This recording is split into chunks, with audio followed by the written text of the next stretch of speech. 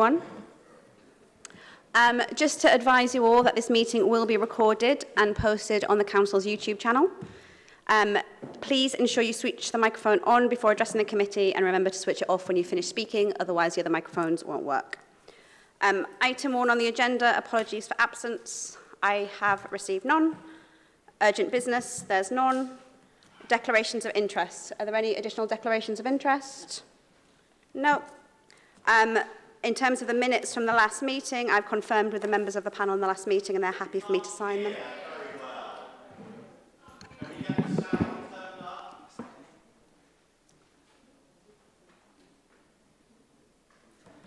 Is that better? Can you still hear? I will try and project a bit more. You haven't missed anything, it's just minutes from the last meeting. Okay, thank you. Um, so moving on to why we're all here, um, members are considering a call-in of a decision taken by the Cabinet Member for Climate Action, Environment and Transport on the 29th of February 2024. Um, please also note that an addendum report has also been published. Members should also note that two separate call-in notices have been received as set out in the report and the Constitution provides that they be dealt with together. As members will be aware, we have not been able to hear this within the set timescale because of the two pre-election periods effectively covering the period between the 18th of March to the 4th of July.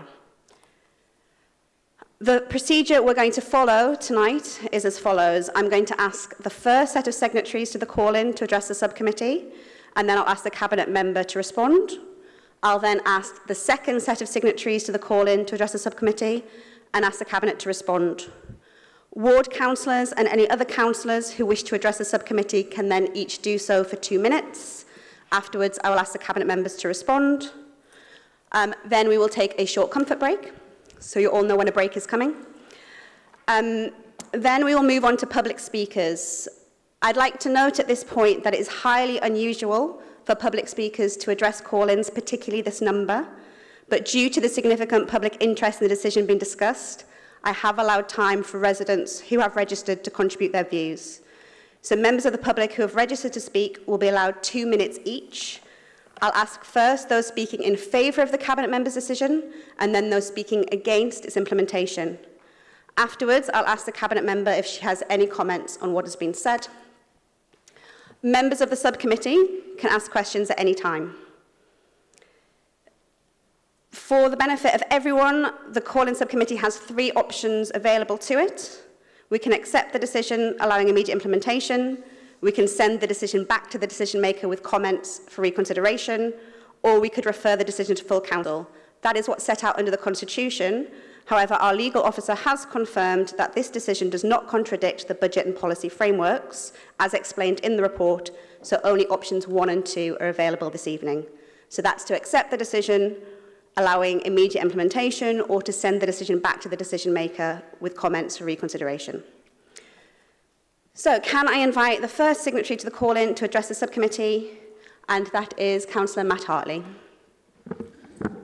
Thank you, Chair. Uh, hopefully everybody can hear me uh, at the back of the room, um, given such a big turnout.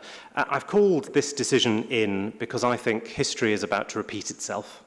I think the Council is going to implement this new low traffic neighbourhood scheme in Greenwich and Westcombe Park uh, cause huge disruption in neighbouring areas in Charlton as a result and end up removing it all at the end of the experimental traffic order.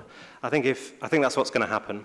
I think that comes at huge cost in terms of effort, money, and the council's reputation with residents too. Um, I feel it's important to stress at the outset that I am not opposed to the principle of low traffic neighbourhoods.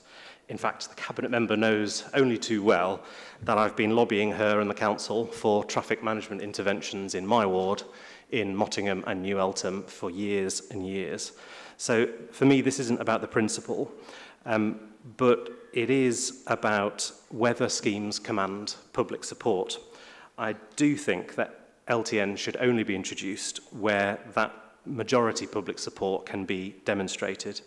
And I've proposed before that the Council should adopt a principle of public consent to ensure that for both traffic and parking schemes. Um, and that principle of public consent, in my view, should apply to a wide area, including neighbouring areas where there are knock-on impacts. So the Council chose not to introduce that principle of public consent uh, when I proposed it. And in this example, Um, I think it's clear from the consultation responses that there is nothing like um, majority public consent for what is being proposed, and yet the Council is pressing ahead anyway. There's huge concerns, as the consultation showed, about these proposals, and I'm also conscious that the amended scheme that the Council is uh, bringing forward in this decision, that amended scheme itself hasn't actually been the subject of a specific consultation. So I've called it in today in part uh, you know, in my role as leader of the opposition, part of my job is to make sure that people with uh, differing views to the council have a chance to have their say. And I think the turnout tonight shows, as you said, very high level of public interest both for and against the scheme. And I felt it was important that everybody uh, who had taken part in that consultation and feels their views have not been listened to have the chance to come tonight and have their say to the cabinet member. Um, and you know, as you've said as well, there's multiple call-ins tonight and a complex meeting. Um, and I'm also conscious that my fellow, our fellow councillors who represent the wards in question, uh, the subject of their call-in uh, is very much about specific local different aspects of the scheme, and they're far better placed than me to speak to those points. My call-in um, is about some of the more fundamental points here, issues of process, um, and uh, you know, about how the consultation was carried out, how the responses were interpreted, and how the decisions been made. And I don't represent this area on the council. Um, I suppose, I'm not sure it's an interest chair, but I should declare, I guess, that I, as it happens, for 14 years, I've lived uh, first on Delacourt Road and then on Lisbon Street, so I live just outside the proposed scheme area, although I represent a ward at the south of the borough. Um, so it's been called a neighbourhood management area. Um, I'm using the word LTN. That's what people, that's the common parlance. I think those uh, terms are interchangeable. Um, I don't think neighbourhood management area is going to stick. So just to clarify, when I talk about LTN, I'm talking about this proposal as a whole. Um, and, you know, it, it's also of strategic significance to the borough. This is a major population centre. Um, and it also has broader implications for the Council's wider transport strategy and future schemes elsewhere. So it, just in the interest of time, I'm going to group the issues I've raised into three sort of broad areas, Chair, if, if I may. The first is about the consultation process. So that covers the first two grounds for my call-in, the widespread perception that the consultation was flawed and biased, and secondly that the, the huge opposition it encountered has been ignored. I've grouped that together, so that's kind of the first bucket, which is about the consultation. The second sort of bucket is um, about the fact that not all options have been consulted on. And the third bucket is the impact on neighbouring areas and the fact that they haven't been considered. So just to help navigate um, my kind of issues, those are the three areas I want to talk about. So firstly, on the consultation, um, I've got some comments and some questions, and I'll do that for each of the three areas, if I may. So on the consultation, you know, it's just so important when the council consults on anything that it maintains the integrity of that consultation process. You know, whatever the outcome of the decision in question, whether people agree or disagree, people have to have confidence that the decision has been reached uh, after a consultation in which their views were not just taken in a perfunctory manner, but were listened to and considered. And I'm afraid this consultation fell very far short of the mark on that, in that regard. Many residents have been in touch with me as leader of the opposition on the council to say they've had no confidence at all in the consultation process. Um, I've had comments to say the questions in the consultation itself made it difficult to fully express opposition. It, you know, the questions were fairly leading, Um, and it's all from a position of this scheme is happening and its virtues and benefits. So people felt they weren't able to fully express that opposition. A far sort of more troubling uh, issue for me is that the council didn't remain neutral in the consultation. Um, in fact, the council did what I think was probably the worst possible thing it could have done when it comes to maintaining public confidence in the consultation process by putting out a leaflet um, through residents' letterboxes weeks after the consultation closed, advocating the scheme, and I've brought it tonight. This leaflet, um, you know, it's kind of ward-specific. It looks more like an election campaigning leaflet to me than a, an official council document. It's very campaigny. Um, it extols the virtues of the scheme. It's got headlines like busting the myths, um, why is the council doing this? Um, why, why was doing nothing not one of the options? Aren't schemes like this bad for business? No, it says with exclamation marks. Um, and so on and so on. And, you know, the fact that this was delivered through letterboxes a matter of weeks after the consultation closed, I'm afraid left residents feeling really shortchanged, that the consultation was just a tick box exercise, that they couldn't possibly have read all those responses, and yet they were publicly campaigning the council in favour of the scheme with a, an election-style leaflet. I think that was a really big mistake. Um, and I know that the council disputes all this, and in the response to, uh, not the fact of it, but the kind of, you know, my view on what's happened, the council disputes. Um, the answers to my call-in on this say repeatedly, the consultations were genuine and extensive listening exercises. Um, but, you know, communication is about sort of giving messages and receiving them, and the way that the consultation was received, um, I'm afraid, show, you know, that it's created the perception of anything but a genuine and extensive listening exercise. And without getting buried in the detail of all this, I just want to say at a high level, just recap what's happened here. The council uh, consulted on various proposals for this scheme. In West Greenwich, 68%, 69%, 70% of respondents uh, expressed negative or very negative opinions of the three options consulted on. In East Greenwich, 79%, 77% and 73% of respondents expressed negative or very negative opinions on the various options um, put to them. So, and after that, which is a huge level of opposition by any measure, the council is going ahead anyway, regardless, with just a few tweaks to its proposals.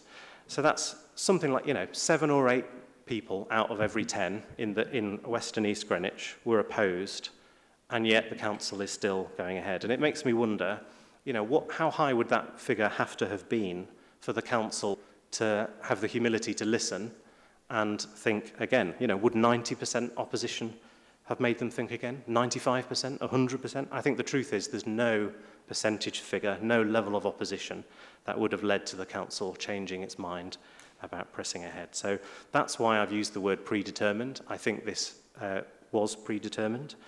Um, this scheme was going ahead, whatever anybody said in the consultation, and that's, uh, I guess, a fundamental problem that I have. Um, and on the response to my call in tonight, um, it makes the, the council has made the argument that the consultation feedback has influenced the am amended scheme.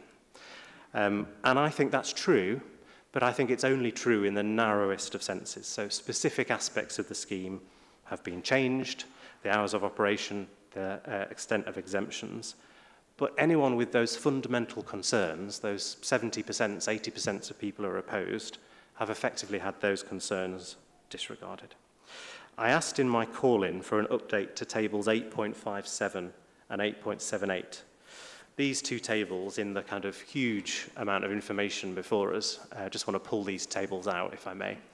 So table 8.57 um, is a helpful table in the decision report um, that uh, gives the most common themes that came up in the consultation in West Greenwich, the high-level sentiment and the number of comments for each. And table 8.78 does the same for East Greenwich. So in making this call in tonight, I asked for an updated version of that table with an extra column added, which explains how those themes have been accounted for in the amended proposals. Because the Council's view to my comments on this is that, well, we have listened because we've changed the scheme. Um, that table, updated table, isn't forthcoming. I, I, I haven't seen that in the response to the call-in. Um, but I think, in truth, it would have been difficult for the Council to um, to do that as I'd requested, because I think when you look through the most common themes uh, coming up in those tables, you'll see that um, the majority of the themes that came up in the consultation haven't been addressed through the amendments made to the tweaked option A. Some of them have about exemptions, um, but the vast majority haven't.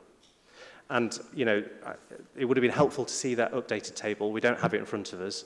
Um, but I think it does just demonstrate that in so many different aspects, the themes that came up in the consultation haven't been listened to. So, um, to come on to the questions, just the final thing before I come on to three questions on this issue. Um, the previous government issued new guidance on LTNs in March. That came from the Department for Transport. That guidance says everyone should feel they have been listened to and authorities, local authorities, should seek evidence of strong local understanding and support for proposed changes. Local authorities should not impose schemes in the face of strong local opposition that is clearly representative of the views of the community. So I, one of my questions relates to that guidance. I just want to surface that for the meeting. I think it's certainly clear that um, this decision is not compliant with that new central government guidance issued in March. So th those are sort of my comments on this first bucket of issues about the consultation process. So if I could ask three questions of the Cabinet member and of officers on this, if I may, Chair. Um, you would normally address us and we might then ask the questions of the Cabinet member, but yes, feel free to surface them at the meeting. Thank you, Chair. Um, I'll share the questions and then I'll, you, you can use your good offices about whether to ask them. Um, so, uh, A, uh, question A is, do you accept, uh, does, do officers accept that the decision to go ahead with the scheme was predetermined and that there was no level of opposition that would have led to the Council changing its mind? I, th I just think we, we need a, an answer on that from the Council about predetermination. Uh, the second question is, um, if, the, if they were to run the consultation process again, do they accept that a public campaigning leaflet um, would not be something they would repeat? You know, do they accept the, uh, the, the harm that's had on public confidence in the process? And thirdly, um, how has the Council um, evidenced that this decision is compliant with that new Department for Transport guidance in March? So that is the kind of first bucket. Um, the next two are quicker, Chair. Um, the second uh, sort of bucket of issues is around the fact that not all options have been consulted on. So uh, in particular, this amended scheme that is being proposed, so option A with tweaks, hasn't been consulted on specifically before this decision is being made. Um, I understand that the Council is effectively proposing to use the experimental traffic order itself as a sort of consultation. Kind of the clues in the name, you know, it's, experimental and then it's reviewed. Um, so the, the approach is we'll try this and we'll get feedback on it before deciding whether to make it permanent. But I just think before causing this much disruption for such a prolonged period of time during the ETO, and also given how sensitive and controversial the issue has been, it would be far better to consult on that specific proposal now. And I don't think that should, needs to be or should be a lengthy consultation. I think it could be easily done online through Commonplace. I think if, if it's consulted on in a neutral way with the precise details of what's being proposed, I don't know what argument the Council could have to not, for not doing that.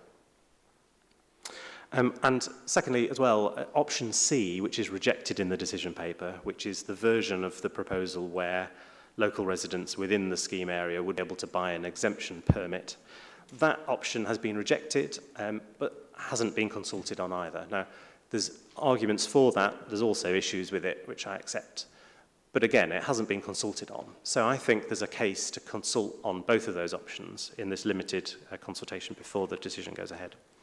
So um, uh, the question, I guess, on that is, you know, um, why wouldn't the council, if, if the council thinks it's amended um, the scheme based on the consultation, why wouldn't they want to demonstrate public support for the changes that they are advocating? And then uh, the third bucket of issues is around impact on boundary areas. So, you know, in my call-in, I've expressed the concern that the impact on uh, Charlton and other areas uh, hasn't been fully taken into account. I'm conscious one of the councillors for Charlton Hornfair Ward is a party to the other call-in, so you know I'm not going to speak at length about this at all. Um, But, you know, again, it's an issue of process for me. This, uh, the residents inside the scheme area were written to about this uh, consultation extensively, uh, but residents in neighbouring areas weren't proactively communicated with as part of the consultation, even though this is going to have a big impact on those boundary areas. Um, some residents in other parts of Blackheath didn't receive notice of the consultation, but then they did receive this campaigning leaflet two weeks after it closed, uh, which caused a lot of consternation. Um, and the council's response to my call-in says the fact that so many people from outside of East and West Greenwich sent responses in online kind of shows that I'm not, you know, I've got, I've got nothing to worry about, that it, that it worked. But I think it proves the exact opposite. I think the fact that so many people um, took part in the consultation from Charlton and elsewhere despite the fact they weren't proactively communicated with in the same way, I think that shows the sheer level of opposition from those neighbouring areas. I think if the council had written proactively to people in places like Eastcombe Avenue, Victoria Way, Marlborough Lane, where there's huge concerns about the impact on additional traffic, um, I think it would have been an even stronger opposition um, to the plans. And um, in, also in its response, the council says, you know, it, it kind of points to the uh, academic studies in what I'm aware is a highly contentious academic sort of debate about whether LTNs actually work. It points to various uh, uh, individual studies that, that it says do not significantly increase traffic, uh, that claim that LTNs do not significantly increase traffic uh, and or impacts on border roads. But I think everybody is aware, anyone who lives on Maze Hill knows otherwise, because we've got lived experience of these schemes uh, in, uh, in the borough. Um, and the council um, pointed me to Appendix D of the report in 2022. Um, and that report that I've been pointed to has the figures. Maze Hill saw a daily increase of 800 vehicles, 27% increase, and Vanbrugh Hill, a 16% increase. So I'm being pointed to these academic reports, sort of contested uh, reports claiming that LTNs don't increase traffic elsewhere, but we seem to be relying on those reports, the council seems to be relying on those reports and ignoring the lived experience of people in, uh, in the borough, our residents, who have seen that for themselves uh, in Maze Hill previously in that previous example. So, um, questions I want to ask on this sort of third bucket of issues is um, if the council were to do this again, this consultation again, would they accept that they should also write and proactively communicate to residents in the neighbouring area? And then secondly, um, does the council accept that traffic is going to increase in Charlton as a result of this scheme? And if so, how much of an increase in traffic does it consider acceptable?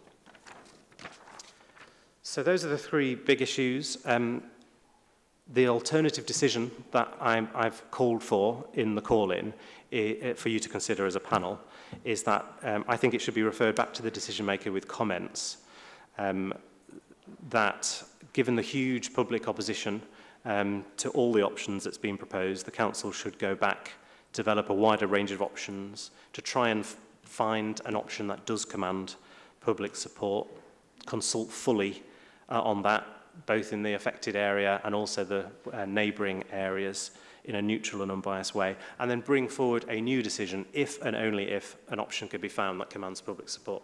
So that's what I kind of put in the call-in notice.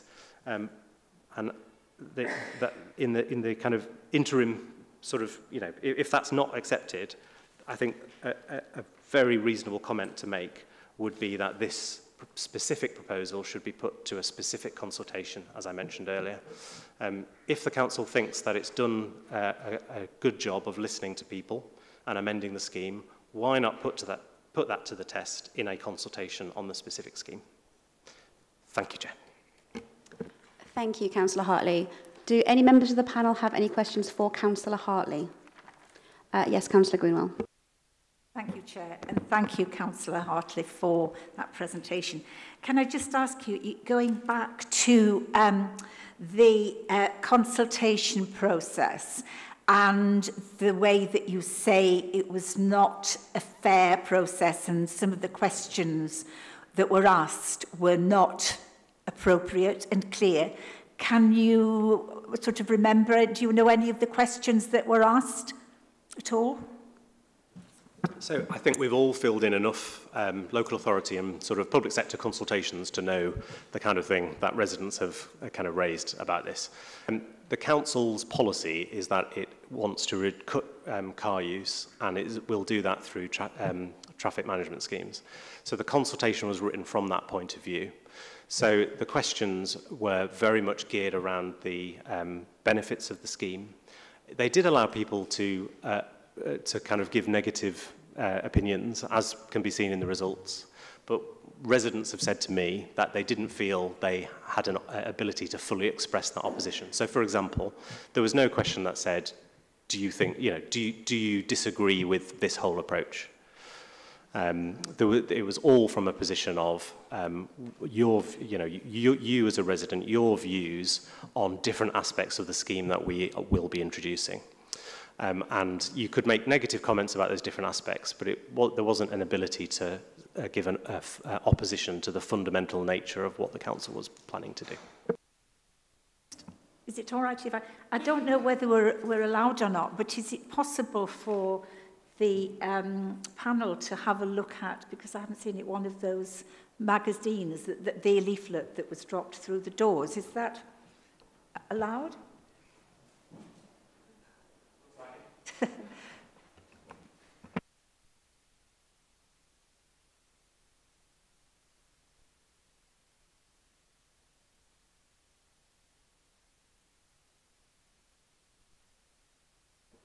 Great. Thank you. Um, can I now ask the Cabinet member if she would like to respond to any of those points, or she would like the officers to respond to any of those points?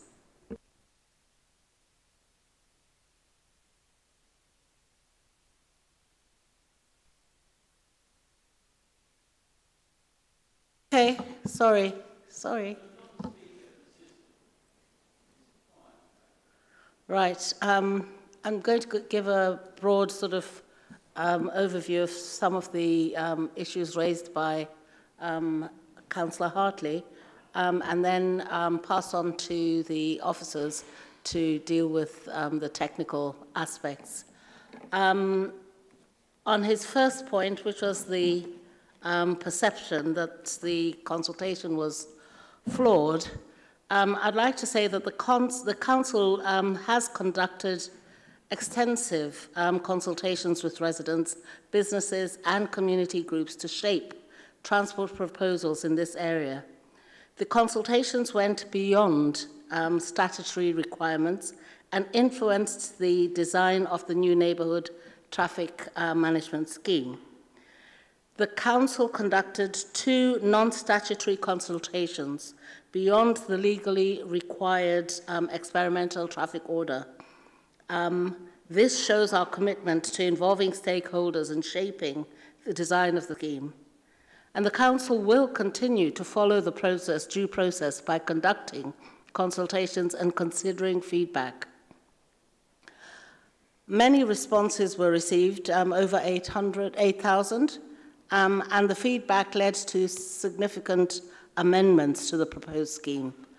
The Council will continue to engage stakeholders in further consultations because, you know, this, what we had proposed and what we are proposing is a, an experimental traffic order, um, which is what um, uh, uh, uh, Councillor Hartley um, commented on. So that process is an ongoing process. In terms of um, the limited ability of those opposed to the proposal to be able to fully express their views, I would suggest that the Council's policy emphasises the need for significant shift in travel behaviour to achieve our goal of net zero um, carbon emissions by 2030, um, and doing nothing would not achieve this aim. So doing nothing option was actively, um, was never actively proposed. Um, however, the consultation allowed people to tell us um, if they did not think that we should do anything. And the analysis in the decision report clearly identifies some of these views. The recommendation, uh, the recommended option included significant changes based on that feedback. And um, I, I think we need to note that um, the role of the consultation was never a referendum. Um, the consultation um, was designed to help us understand people's views on design proposals, um, developed both um, following stage one consultation and to inform the decision, a decision on options for delivering the Council's established objectives for a safer, greener transport network for the local community. The engagement that was undertaken provided important information about the local community's views to consider alongside other factors that were set out in the decision report. We have to consider a wide range of views, Chair, um, and other issues relevant to proposals such as public health and so on. It is for the decision maker to carefully consider and weigh up um, these range of views and other issues in making a decision. Um, on the issue that there was limited geographical scope um, with residents, um, our consultation aimed to engage as many people as possible and was open to all respondents, and all respondents were considered in the decision report. Information about the consultation was delivered to every address in the area, that the affected area. And um, it received extensive publicity through various media channels. Now, 26% of the respondents were from West Greenwich, whilst 21 from East Greenwich area. This clearly shows, as, as uh, Councillor Hartley said, that a significant number of respondents from outside the area um, that was contacted directly did engage in the process. But it's also important to note that we do not accept that uh, the displacement suggestion um, in the reasons um, that will happen. And I think the best uh, test for that, whether there's displacement or not, will be um, when we put in that um, experimental order and that's when we'll be able to measure.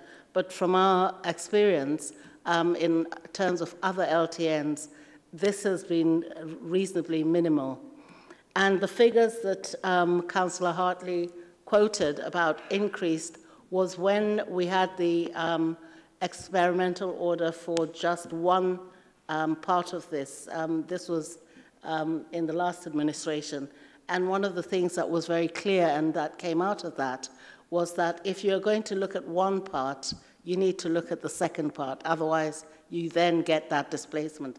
And that was the reason we looked at both um, the East Greenwich and the West Greenwich um, concurrently. In terms of the impression that the decision was predetermined, um, I'd like to say that a step change in travel behavior um, is necessary to improve health and to achieve net zero. The options consulted on were designed to help deliver these policy uh, objectives. This was in the uh, manifesto. This was clearly um, council policy um, for years prior to this um, coming through. Um, and the, this um, provided a really strong policy basis. So it was inevitable that, we would, um, that it would be apparent that the Council was supportive of this type of measure. However, the consultations were genuine and extensive listening exercises. The decision report clearly documents the full range of views expressed for consideration in the decision. People's responses directly influenced the preferred option which included significant amendments arising from the consultation feedback. All of this was considered carefully, and the decision was certainly not predetermined. In terms of um, the comment on the results that have been obtained, um, have not been sufficiently taken into account in coming to the decision. Um, I would say the reasons for the recommendations provided in section 7 of the decision report summarizes how the results of the consultation exercises shaped the options and recommendations. The results of the consultation exercises were also explored in significant detail in section 9 of that decision report, and it formed an important consideration to that decision.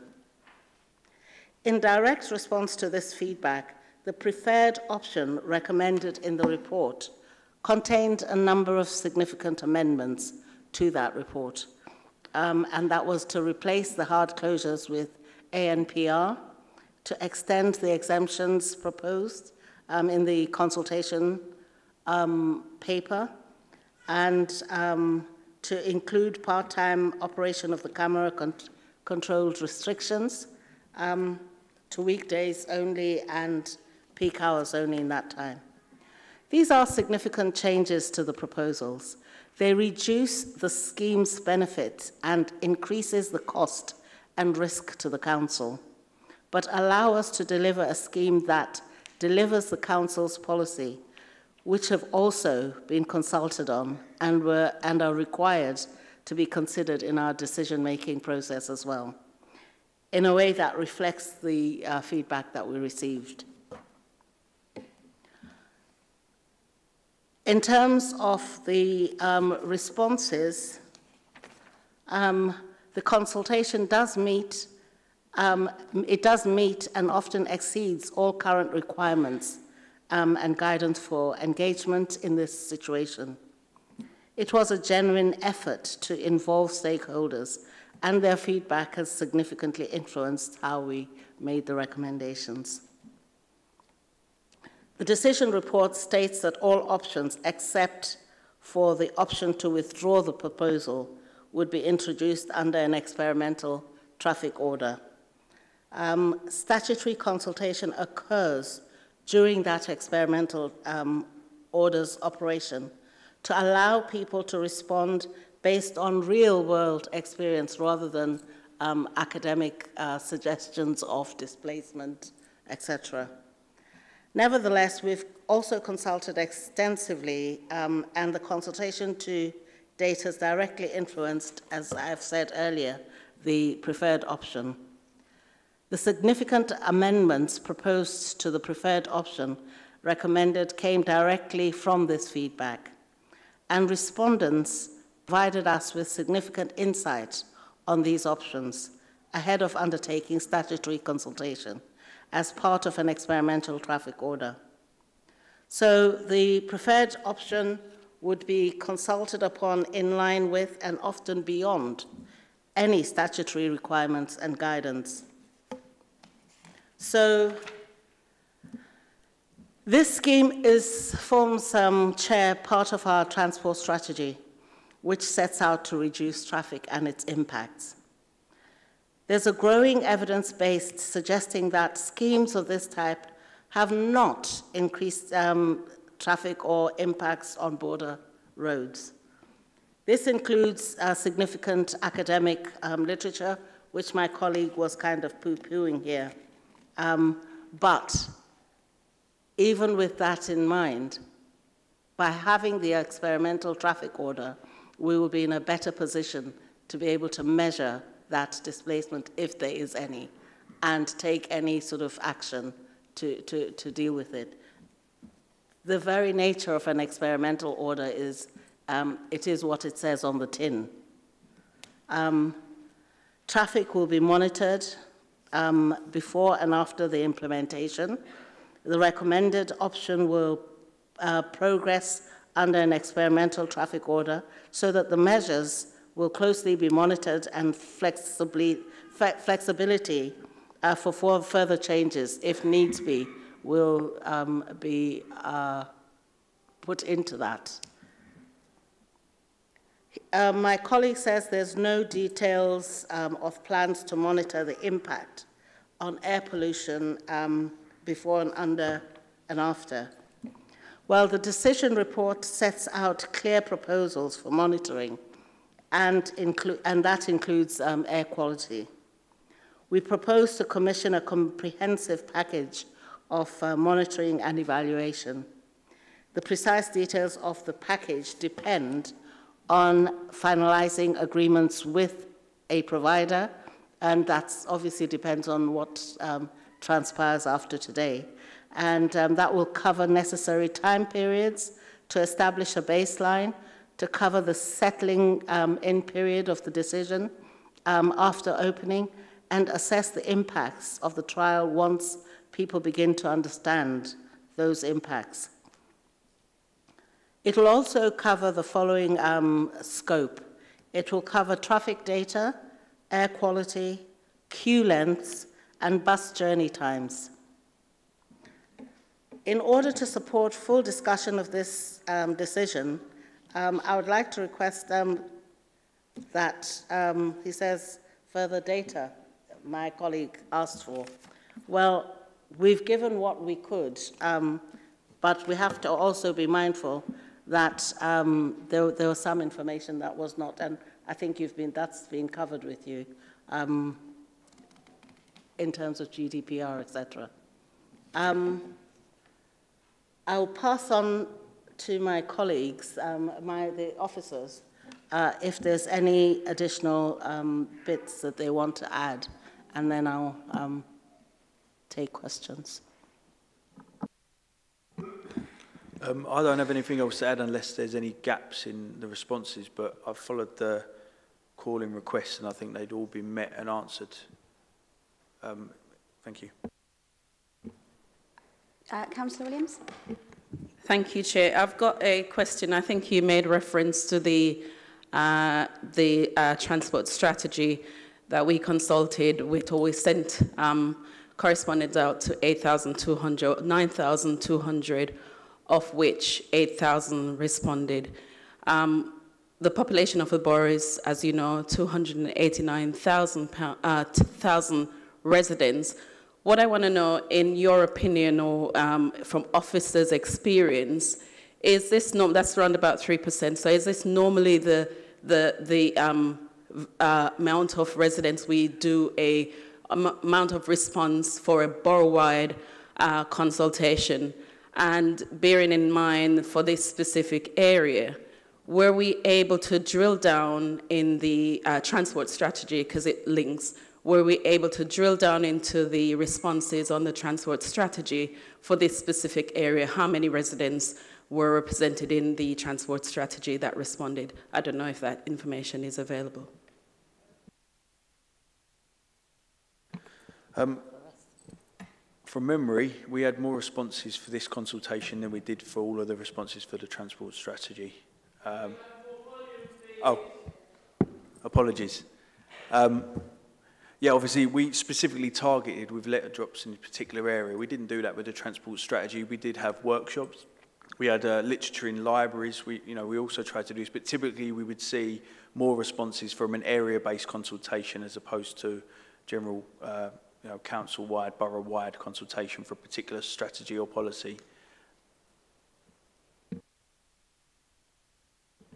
What I wanted to know if that percentage of response is general, um, is it representative of, of, normal consultation? I just want to um, hear your reply to, because I think Councillor Hartley raised a, a point a very valid point in terms of the consultation process, but also the, uh, the leaflet that was dropped. And I just want to hear from you in terms of the responses. Is that normal for the council on this type of consultation? I would say we received a higher response rate than we ever usually do on a typical scheme. Councillor Greenwell. Uh, thank you, Chair. Um, this uh, Councillor Lekau, um, Councillor Hartley um, talked about the opposition to the West Greenwich and East Greenwich um, to the consultations that you held.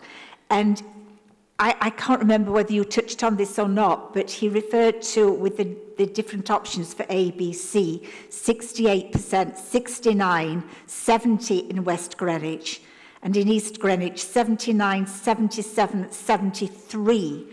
What normally would you take? I mean, that's sort of like three quarters of the responses uh, negative. What normally would you take as a sort of bench figure if you are looking at opposition to some, you know, to, to anything? And, and when would you say, okay, that's not viable. Residents do not want that. I think you have to put this in context of um, in one of the areas, 20 something, 20, 26 people uh, percent responded from the area, um, and of the respondents, that's what you got. But let's just also be um, um, straight with this. We uh, have a responsibility as um, councillors for um, a broader set of issues, and that's what I said earlier. Um, for example, we cannot go, uh, do away with uh, considerations for the public health considerations um, of uh, uh, residents in the borough.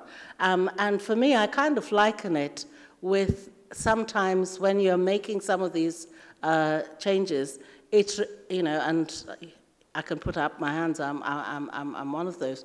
But there was once a time when um, people who smoked said, you know, it was infringing on our rights. And I, I'm saying this as a smoker, please, um, to, to, to stop me smoking in public.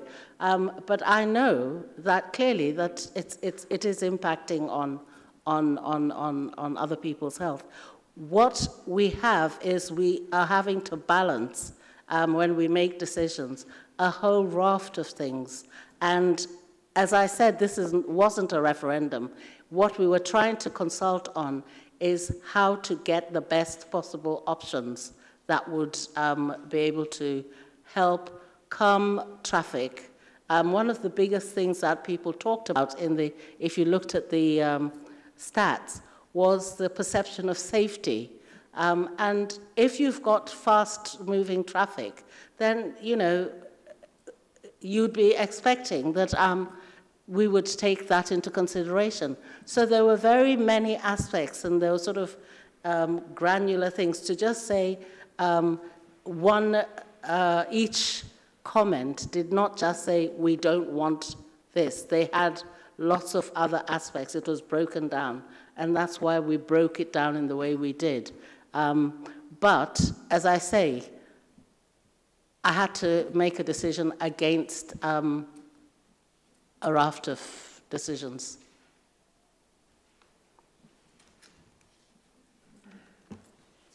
Thank you. Um, I would like to know a little bit more about consultation after an experimental traffic order comes into place.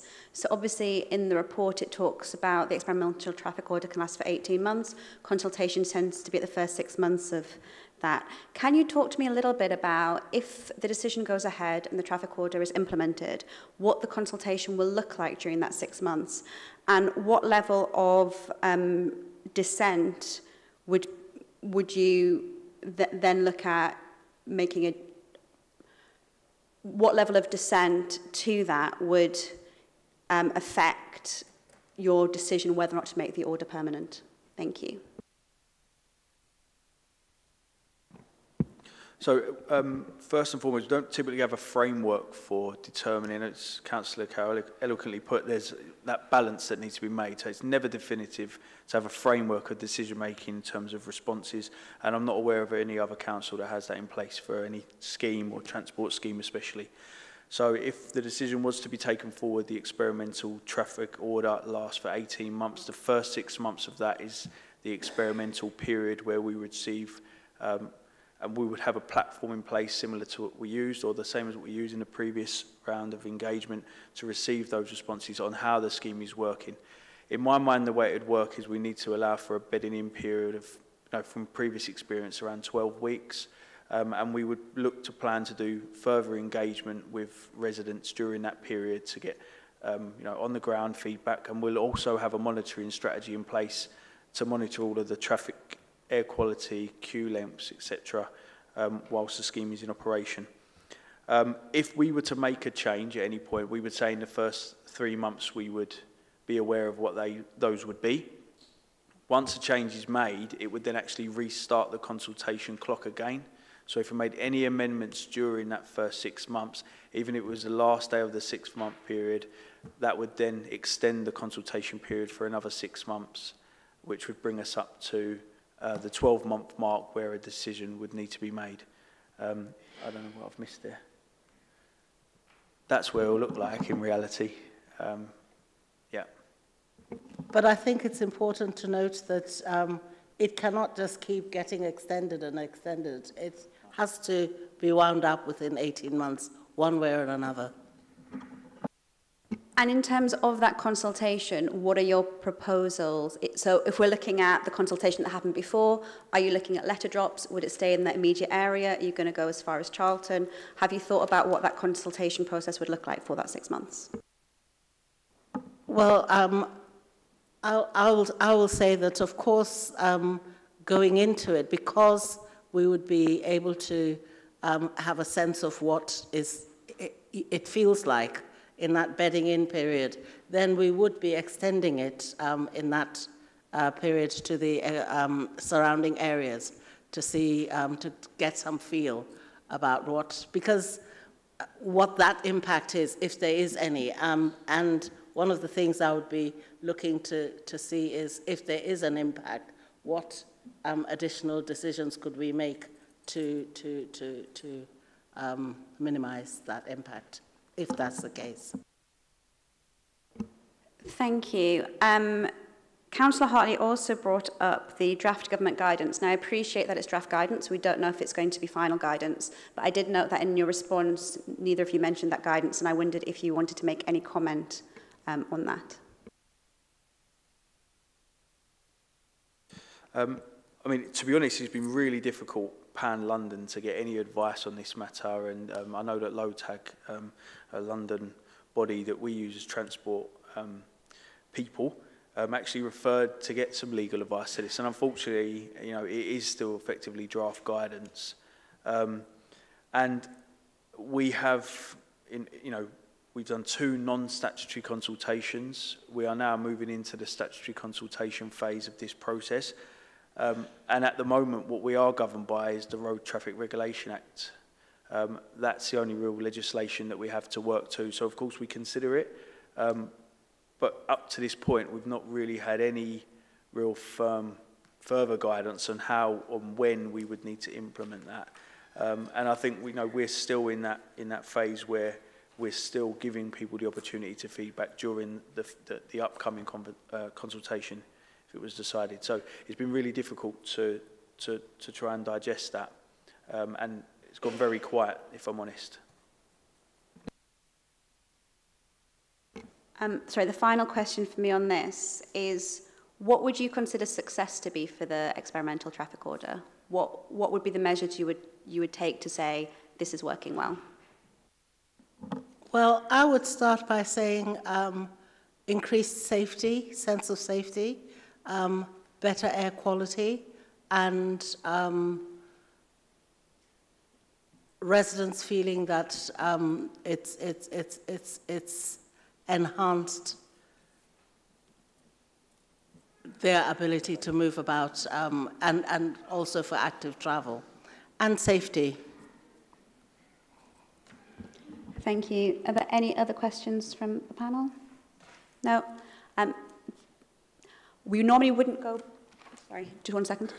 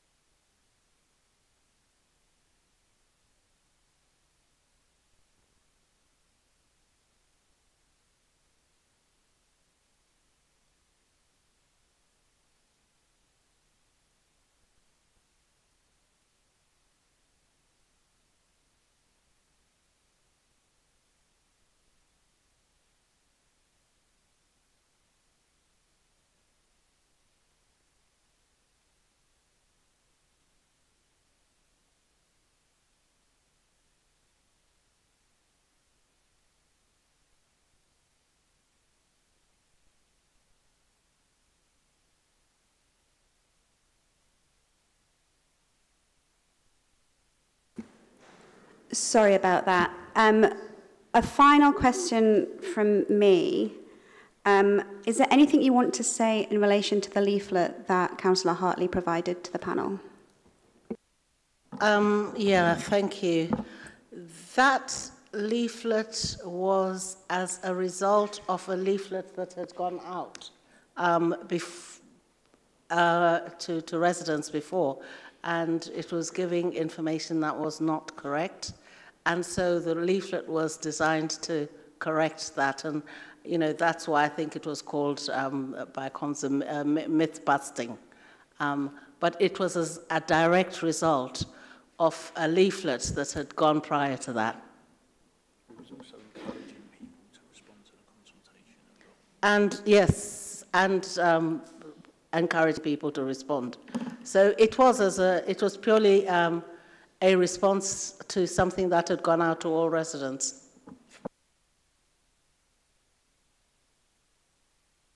Sorry, can I just ask what was the previous leaflet about that was the, the wrong leaflet, that were giving the wrong information? Councillor Greenwell, I didn't um, set out that, I did not um, publish that leaflet. It was published and residents sent it to us to say, look at what's coming through our letterboxes. And this is the information some people are putting out, who I can't even remember who it was. And so what we were doing was to respond directly to give the right, um, the correct information. So it was by another party elsewhere. Thank you. Councillor Hartley, we wouldn't normally go back to you, but have you got a further point you wanted to make? Yeah, fair enough, Chair. I mean, in every call-in I've done, there's been an opportunity for the call-in signatories to ask questions, and there's been a bit of back and forth. But I mean, you've raised some of the questions that I asked, but there's just a couple that haven't been addressed, if, if that's okay. I mean, really, the, the main, there's, there's two ones. Just I know there's a lot of people who want to speak. There's two big things. That gov government guidance, draft guidance in March. I just want to quote from it again. Local authorities should not impose schemes in the face of strong local opposition that is clearly representative of the views of the community. I appreciate its draft, but is the council really saying that, that it's going to ignore the spirit of that draft Department for Transport guidance? Does anybody really think that any government, and the new government, is going to come in and say, local authorities should impose schemes in the face of strong local opposition, because that's exactly what's happening here. I think it's, it's kind of willfully ignoring that guidance in a, in a way that I don't think is justifiable. The question that I, I hasn't been addressed uh, by the cabinet member or officers is about the amended option A. Why wouldn't they put that to consultation? I wondered if you might allow that to be asked, um, as that's the kind of main thrust of what I want them to, to do. Thank you. Would you like to address those points? Okay, um, number one, if the, the decision was made before the guidance was published, I'm sure, um, but notwithstanding that, it was a draft guidance at the time. Um, but in terms of um, putting the options um, back for consultation, I do believe that what we're saying is by having an experimental traffic order, we are consulting on those very uh, amendments that we've um, introduced.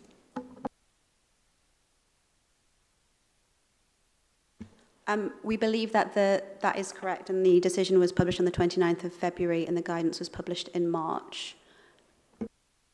And here we are in July, with purdah periods having given ample time to reflect on government guidance that's been around now for months. And I just find it, I, I don't know why we're still here. local authorities should not impose schemes in the face of strong local opposition. That's exactly what we've got here, and, and that's a political choice, uh, but it, it, it appears that's the choice that's been made. But sophistry over dates, you know, this guidance has been around for a long time. It's the 31st of July uh, on the day that we're discussing it. Thank you. There was a second part of your question addressed there.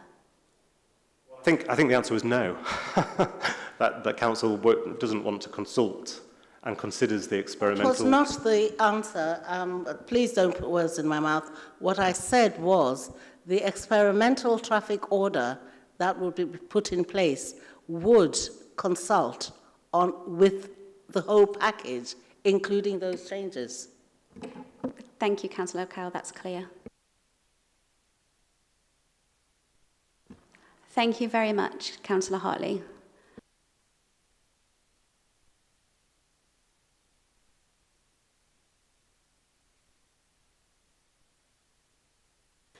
If I can ask the signatories to the second call-in to now come to the table.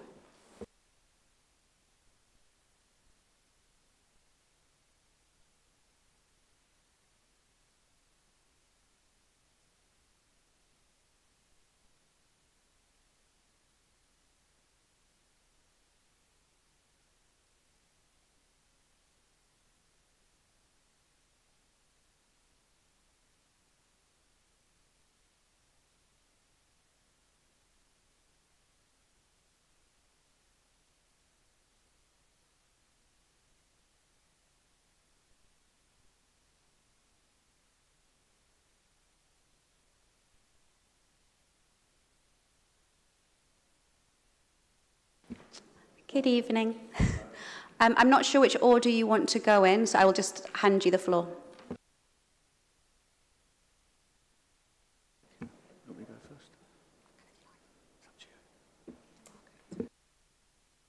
What you go, yeah? If you don't make a decision, I will. We'll just, we'll just be... Um, thank you, Chair. Um, I am Councillor uh, Maisie Richards-Cottell and I represent East Greenwich Ward, which is partly covered by this scheme. I've been a councillor since May 2022 and I also personally live on one of the boundary roads of the scheme. I've lived in this area a long time and I'm overall very supportive of initiatives to reduce traffic in East Greenwich, an area which does genuinely have a lot of problems with traffic. I'm also mindful that I represent a range of residents and their views. We felt it was important to call in this decision to give greater scrutiny, but also seek amendments if a trial is going ahead. This, the call-in asks that if the scheme is implemented, that certain amendments are made, and I will be speaking to some of them and then hand over to my co-councillors. We welcome that Amendment 1 and 3 for the hard closures on Park Vista and Gloucester Circus to remain in place have been accepted in the response report, which is paragraph 5.46 and 5.53 respectively. Both hard closures were installed over the last decade, were campaigned for by residents, and both have been very successful at increasing pedestrian safety and calming traffic in their areas.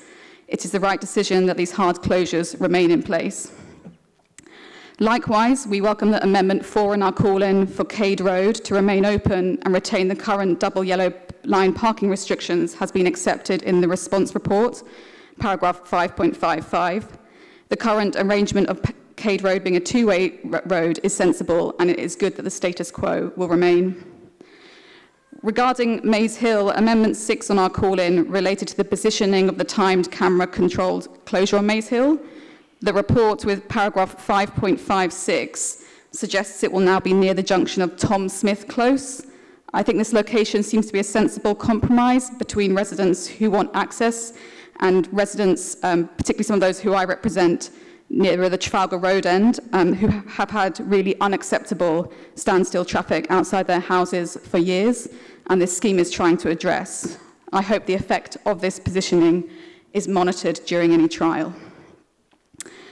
With Maidenstone Hill and Winforton Street, Amendment 5 in our call-in has been addressed in the addendum. It stated that Maidenstone Hill and Winforton Street are not suitable for cut-through traffic and should have the hard closures as in the original consultation. The addendum gives reasons for this amendment not being supported, that feedback from emergency services and the Council's waste services strongly support the replacement of hard closures with ANPR cameras wherever possible. I have several comments to make about this. The eastern end of Maidenstone Hill is very narrow. It is obvious to anyone who has seen the road that it is not suitable at all for two-way traffic. Cars and vans are having to mount the pavements to drive down it. The bollards that have been installed on the pavements by this council are testament to the unsuitability of this road to cut through traffic and the danger it is causing to all road users. The pavements are also very narrow, meaning wheelchairs and pushchairs are having to use the road too. Having a timed ANP PR camera doesn't solve the issue of the suitability of this road to two-way traffic outside the timed hours. There is a difference between roads which have high volumes of traffic, which the scheme is trying to reduce, and roads which are unsuitable for two-way traffic at all. Residents in these roads feel there is a disconnect between what was consulted on and what has been proposed. The Stage 2 consultation proposed hard closures for Maidenstone Hill and Winforton Street, and residents responded to the consultation based on that option and mostly supported option A. Had they been given the option of a timed camera-controlled closure under option A, they may well have supported option C, which proposed a no entry sign at the junction with Point Hill instead. In relation to council waste services accessing Maidenstone Hill, the current services lorries cannot access Maidenstone Hill from Point Hill currently because the road is too narrow. Instead, they drive in from the western end, and residents who live at the eastern end move their bins down the road to be picked up. So, although I appreciate the reason in the response report about waste services access being applied broadly, it doesn't apply in the case of Maidenstone Hill, as the waste services already cannot access Maidenstone Hill from Point Hill. If a hard closure is not suitable from an emergency services point of view, I would ask the Cabinet member if she would consider installing a gate. There are many examples of gates being used on roads in the borough. Oh, I'm sorry. Both Winforton Street and Maidenstone Hill are often used as cut-throughs from the A2, and a further complication with these roads will be when the TfL implement a new pedestrian crossing scheme for Blackheath Hill and its impact on diverting traffic through these streets. Could the Cabinet member comment further on this? I would also like to comment on the timings of the scheme, which relates to several of the amendments we have put forward. The original consultation was for a 24-7 scheme and has now been moved to weekday peak time only. I understand why this has been done in light of the consultation responses. A potential disadvantage of a timed scheme is that it will cause traffic queues where drivers are waiting for the camera enforcement to be lifted like what we used to see when Greenwich Park had a road. Drivers would queue, waiting for the time, and then drive through. I would like the Cabinet member to outline what she proposes to do if we see similar queues in any trial, and how the monitoring during any trial will be used to inform any changes to either the times of when the scheme is operating or the positions of the cameras. Uh, as some final thoughts, I personally believe the trial should go ahead with the amendments we've proposed and consultation to continue during the trial. Only by doing the trial will we see the effect of the scheme, then informed decisions about any changes can be made. The scheme is also in line with the Council's transport strategy, our Greenwich plan and carbon neutral plan. To look at the bigger picture, sat-navs and route finding apps are changing drivers' behaviour, sending traffic down roads that are completely unsuitable for high levels of traffic, the effect of which we are seeing in East Greenwich. Councils are looking for ways to counterbalance the technological advance but still, but still protect neighbourhoods and people's health. We are also going to see a big population increase over the peninsula over the next decade, with over 17,000 new homes being built. This will increase the amount of people and vehicles coming into and through the area. Likewise, we also have the Silvertown Tunnel opening next year and the effect of that on our local road system. I have spoken to many residents throughout this consultation process, and the majority have engaged in a very constructive way. Some of the consultation events were not perhaps the most suitable format, but I will say that every consultation event was better than the one before. They improved a lot, and I went to all of them. As a ward councillor, this has been a challenging process, and this scheme has taken a lot of time and energy. And I would also like to thank officers uh, Councillor Lekau and fellow councillors for trying to find a way through while representing all residents. Could I ask the member to uh, respond to my comments about the, the timings and the comments I also made about Maidenstone Hill and Winforton Street? I'll now pass over to my colleagues. Thank you. Thank you, Chair. Uh, just to say I'm here today speaking as a local councillor representing residents of Blackheath Westcombe uh, raising the issues residents have raised with me and my colleagues. I just wanted to make it clear in these proceedings I am not attending today in my capacity as Chief Deputy Chief Whip of the Labour Party. Thank you. I would like to raise the issue around communication and understanding of the scheme. I've received many emails from residents unaware of the scheme or with a misunderstanding of what was being proposed. I've had feedback from estates, local estates and local businesses who are also unaware of the scheme. And is, is there any way that this issue can be addressed? Because I really do think it's an important one. Residents also found the whole consulta consultation very confusing. The maps were unclear and many felt they could not effectively feed back their concerns we've left some feeling ignored. Others were unclear as to what was being proposed. Many didn't understand that this was a trial period, an experimental traffic order. The specific concerns that the residents have asked us to raise were that Langton Way was an unadopted road the council has no jurisdiction over was being included in part of the scheme. We were keen to seek reassurances from residents that the Langton Way was no part of this scheme. Residents were also unclear from the maps and consultation as, if, as to if there could be unintended consequences of pushing traffic down Langton Way. In regards to Maze Hill, residents had been keen to advise that this would be best to move the, the Maze Hill modular filter from the top of the hill to the bottom of the hill. The report states that the Maze Hill time camera is to be moved towards the bottom of the hill near the junction of Thomas Smith Close. This is greatly appreciated and I believe we have some residents from Maze Hill here speaking tonight. Officers have clarified that a small section of Langton Way is an adopted highway. This is the section of the road with no houses that runs parallel to the flyover leading to Old Dover Road. Officers have confirmed that the unadopted road will not be part of the council's scheme. It is only the section with no housing that will have a camera, no hard closure, at the junction entering Old Dover Road. So the questions I have are, can we provide reassurances to residents living on the on unadopted section of Langton Way that traffic will not dive, divert through there, their, their, their tiny road, and also the other roads in the area that don't come under the scheme? Can they explain what their modelling shows, i.e. which direction traffic will flow when the cameras are in operation? And what recourse is there to residents if there is an unintended consequence of pushing traffic down the unadapted section of Langton, Langton Way and the, and the other surrounding roads? Also, Chair, I was been asked just to raise a quick point, if I may, from the residents of Gloucester Circus, which wasn't in my original uh, calling, but if it's just a very short one. Um, but if officers can't answer, then I can send them the email that I received from residents and they can answer directly. But I would just just say, so I've I've been asked by the residents of Gloucester Circus to raise the issues around the removal of bollards. I'm unclear with the area myself, but I do have the photos. I'm not sure if you're still going to remove or leave in situ. Could you explain on this if there is an option to keep keep them? Thank you, Chair. Thank you. And Councillor Saldin.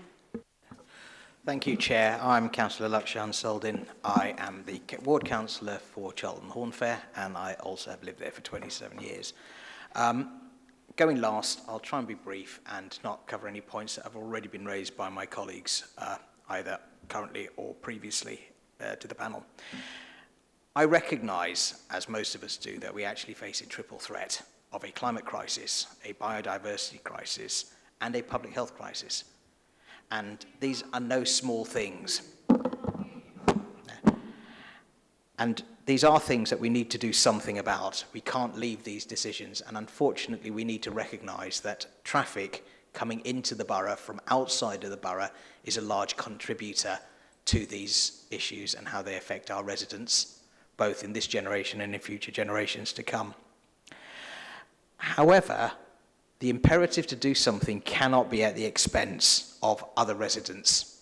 And I speak in particular in relation to my concerns and the concerns raised by residents in the Charlton Hornfair area, but not just our area, but in other surrounding wards as well. Therefore, I was very pleased that these concerns were addressed by officers uh, so comprehensively in section 5.42 of their reply report uh, covering the scope for traffic collection data, air quality data collection, uh, queue lengths, bus journey times, and uh, pedestrian and cycle counts. I think these are very favourable and they address a lot of the concern that have been raised by myself and residents. Uh, I'd also like to point out we have a number of far smaller but similar designed uh, low traffic neighbourhoods operating on timed periods in the form of school streets within our area And I recognise from my experience as a councillor that whilst there was initial opposition, uh, once that has settled in and they're bedded in, they are now perceived as very positively and where there has been an issue where they haven't been in an operation for a period of time, residents have been in touch with me to say, when can we have these back? So I think we need to balance those things. Uh, a lot of the concerns that have been raised to me, and indeed my own concerns, have been highly subjective. Uh, I worry about traffic displacement because it seems pretty obvious to me that if you close some roads, that's got to go somewhere else. Therefore, I welcome the trial and the approach taken with the experimental order because I think this will give us the hard data that will allow us to evaluate whether these things work. I recognise the information that officers have provided in section 5.37 with the various academic studies, but you know, nothing really beats the hard data that we can actually gather locally that will be specific to the particular scheme. So having said all of that, one of my concerns is as we record this data, what is going to provide the trigger point for subsequent changes to that, and how quickly can we see these coming in, and recognizing that there will be periods of unsettlement around the introduction of schemes. There will be a potentially, if you read the reports, a short-term temporary increase in traffic around some boundary raids.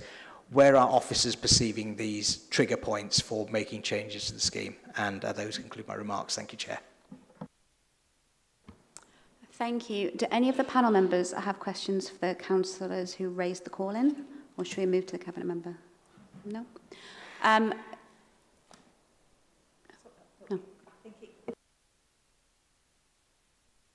Um, Councillor Lekau, would you like to address any of those points, please?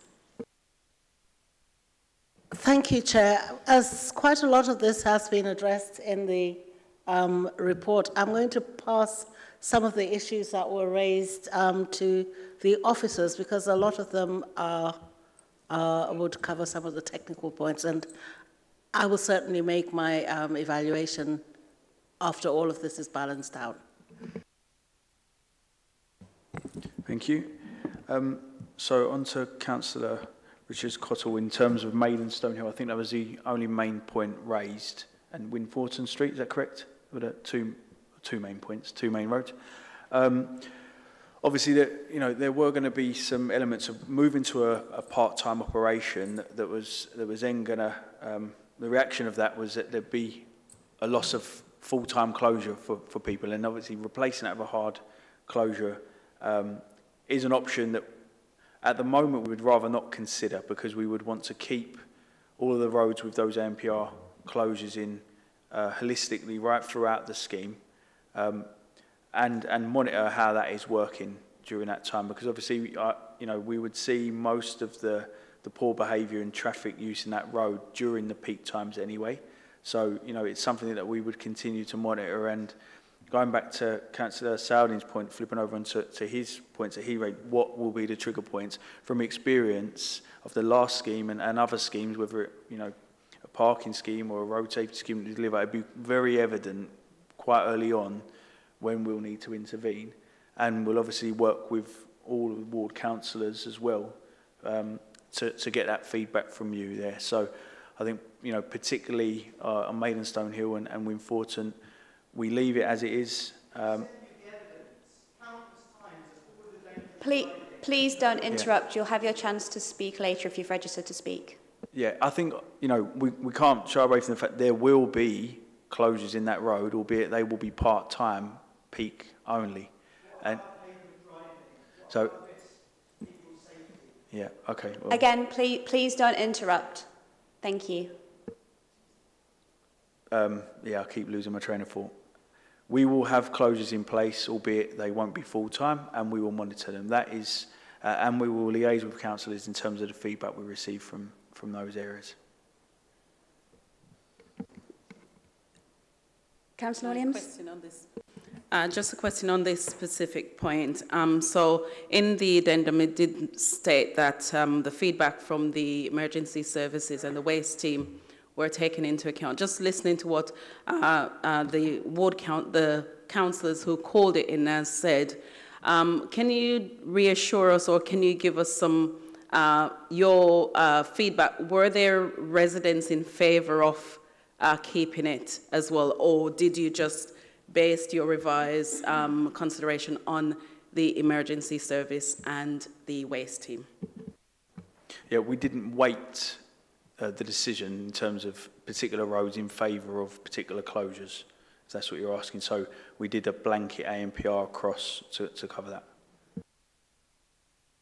Do you want me to continue with some of the other points raised? Is that, is that best way to Uh, do it? yes, Yeah? that's a great Okay. idea. Thank you. Um, so moving on to Councillor Fletcher, in terms of Langton Way, we apologise, I think we mentioned in the report as well, that there were some um, illustrative errors in there, um, particularly around the operation of the one way which goes around the, the church um, uh, that comes onto St John's Park. So there, there will be no major changes to that road, albeit there, there is a closure point at the junction of St uh, John's Park and Old Dover Road.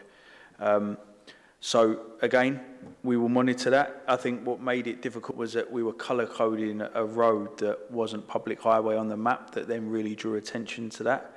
Um, so that, that did cause some confusion, but again, it's something that we'll monitor. And um, again, part-time closures, most of the traffic that we'll see will be in that peak time. We don't anticipate that there'll be any increase um, in terms of traffic movements on that road.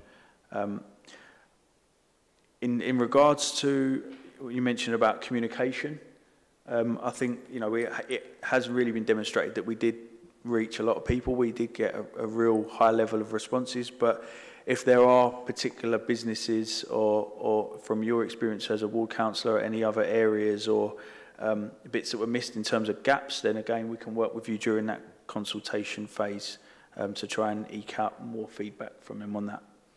Um, I did touch on the point, Councillor Saldin, in regard to the Charlton, in particular the Charlton impact.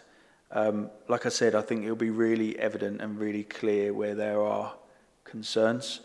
Um, and we'll be working with you on those in terms of, you know, we had a recent control parking zone that, that we introduced. And when you get that collective feedback from people, we will work with you to be that in most cases, that voice and, and, and then decide whether to go out and speak to more residents about particular issues.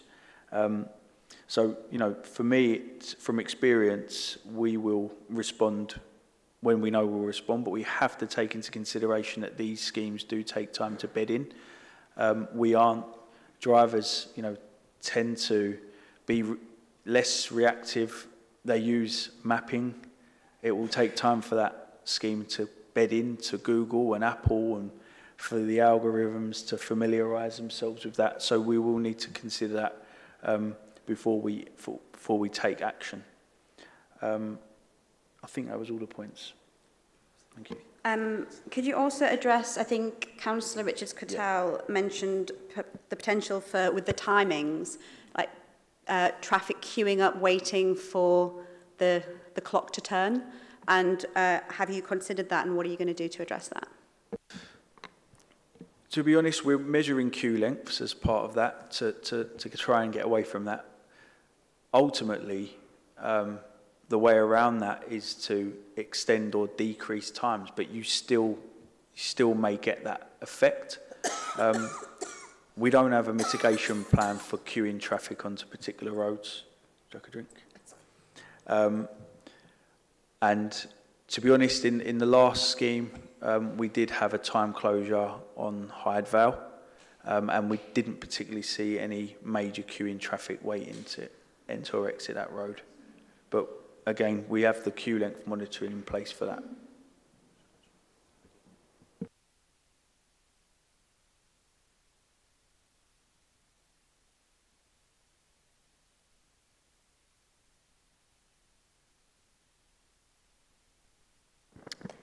Can everyone hear me okay? If I'm able to address the chair. So we chose these time periods, 7 to 10 a.m., then 3 to 7. It's based on the ATC data itself. Now, those time periods shows that there's a massive increase of traffic flowing within that area. After around the 10 o'clock period, it drops off dramatically. So based on this and our findings, we're hoping, hopefully addressing your, your question there, that we're not looking to see or not anticipating any queue lengths within, that, within those areas. However, we are taking those measures in trying to met, uh, survey those areas in the queue lengths to ensure that doesn't happen. If it does, we'll have to review the timing or make some changes where needed. Councillor Greenwell? Um, thank you, Chair. I don't, well, I don't think I should have registered this, but I live in a, um, an unadopted road, so I do understand that the difficulties, uh, and going back to what Councillor Fletcher said, you know, um, if you are sort of, are you convinced that the unadopted part of Langton Road is, it will be okay? And also, I know it's not directly connected to this, but are there any other unadopted areas within the zone that you're dealing with, uh, that you know of? Uh, well, you're just saying it's difficult to know whether they're unadopted. You have to look closely at the maps. I just wondered if there were any other unadopted areas. No, we aren't aware. In it. No, every road um, that we're implementing measures on is a public highway. Um, and I think the issue is in terms of the impact that it will cause on that particular road. So because it will impact, won't you know? I know that because there are no restrictions on private on unadopted roads. Yeah, you that yes. So can will you sort of monitor that carefully? Mm-hmm. Thank you. Um, Councillor Fletcher, was there something else you wanted to raise? Uh, yeah, it's not. It's not. Uh, a question specific. It was just that, if possible, would it be, uh, could, could someone from the Highways Department visit all the local businesses in Blackheath, Westcombe, uh, just to discuss the proposals? And will all the residents get a letter uh, saying when the scheme will start, how it operates, where they enter, where they exit, and then hopefully that would, uh, we might be able to pick up on the residents that are unaware of the scheme? Thank you, Councillor Fletcher. It would be good to know um, if the experimental track order goes ahead, what communications you're going to have with the residents to explain exactly what's going to happen. Sorry, Chair. um, I think um, I'm affected by my colleague, uh, um, fellow councillor. Um, of course, we are hoping to um, send letters out. We've already, um, and I don't want to pre preempt what decisions come from today, but if the experimental order goes through, then one of the things would be that we are also working with the business team to um, ensure that we are contacting all the businesses as well.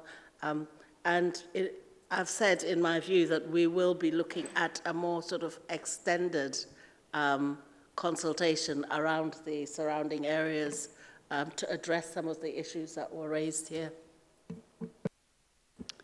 Thank you very much. Um, we have no further questions on this part of the call-in. Thank you.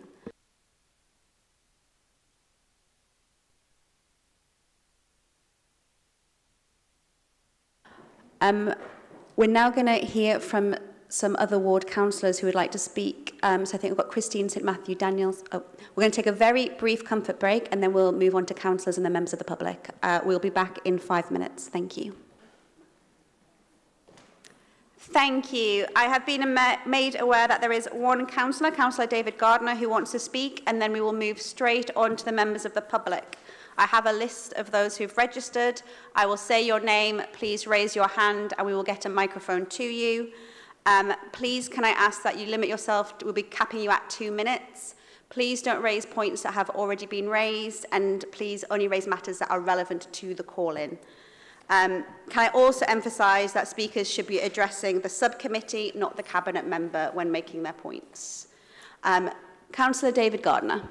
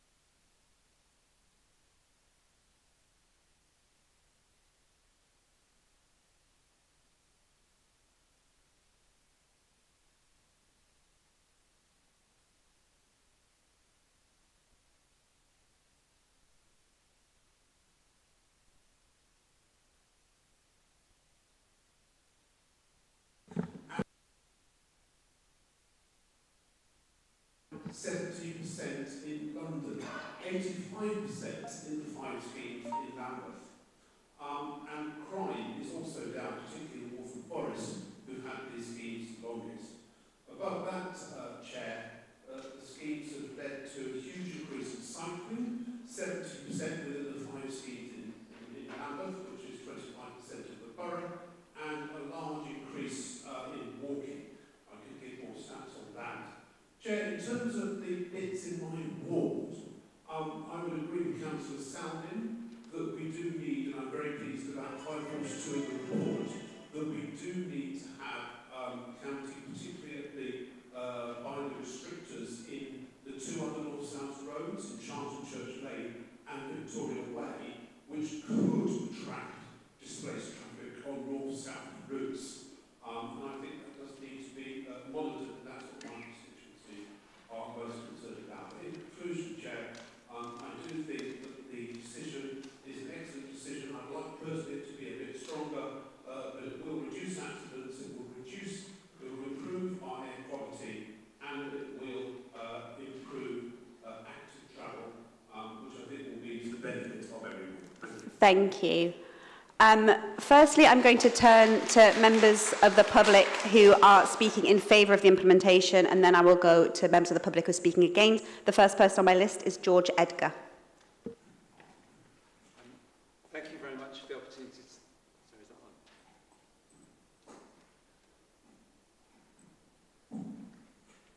Thank you very much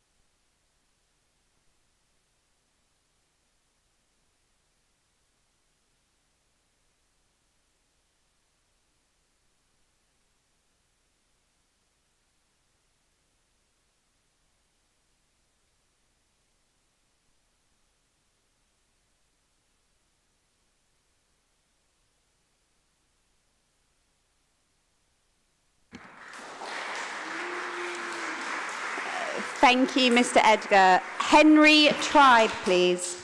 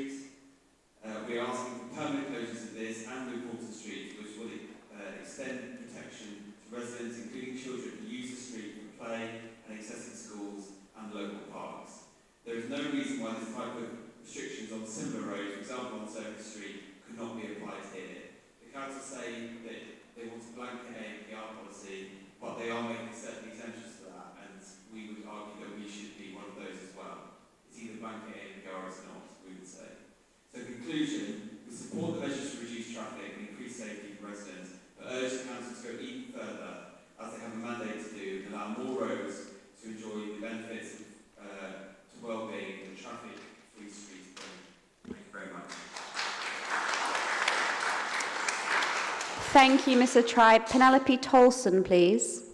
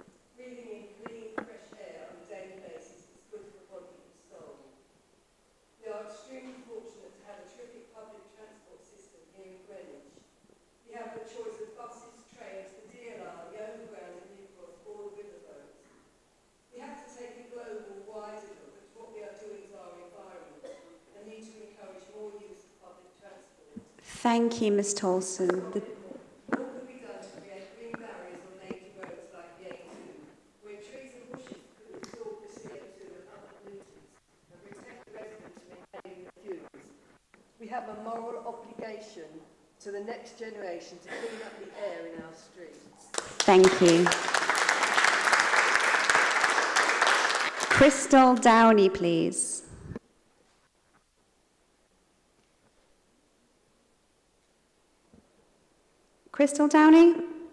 No? Um, Michael Armand. Thank you. Um, Michael Armand, I live on Crooms Hill. Uh,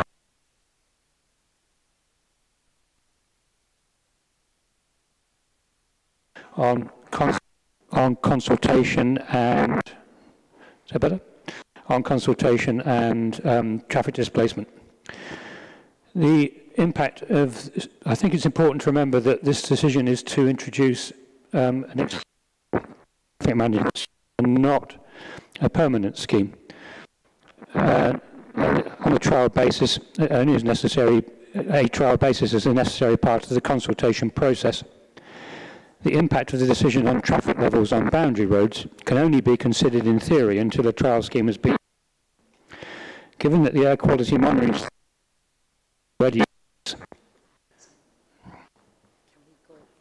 Yes, sorry, okay. sorry. Given that air quality monitoring stations are already in place, it shouldn't be too complicated to supplement these with temporary additional stations and traffic counters to get the evidence that's needed on the trial. Remember that restrictions on through traffic by traffic management schemes do not generate additional journeys, as vehicles will already have travelled on boundary roads to arrive at the scheme area perimeter. In my opinion, a more likely outcome is journey evaporation, where drivers, frustrated by not being able to cut through residential streets, make decisions about their travel options that remove their journeys and pollution caused by it from the Greenwich Trunk Road system and TMS boundary roads altogether. Consultation during and after the trial scheme has been implemented will be far more meaningful than consultation proposals as the impact of the scheme inside and outside the control zones can be assessed on the basis of fact rather than speculation. Thank you. Thank you. Ivan Cornell, please.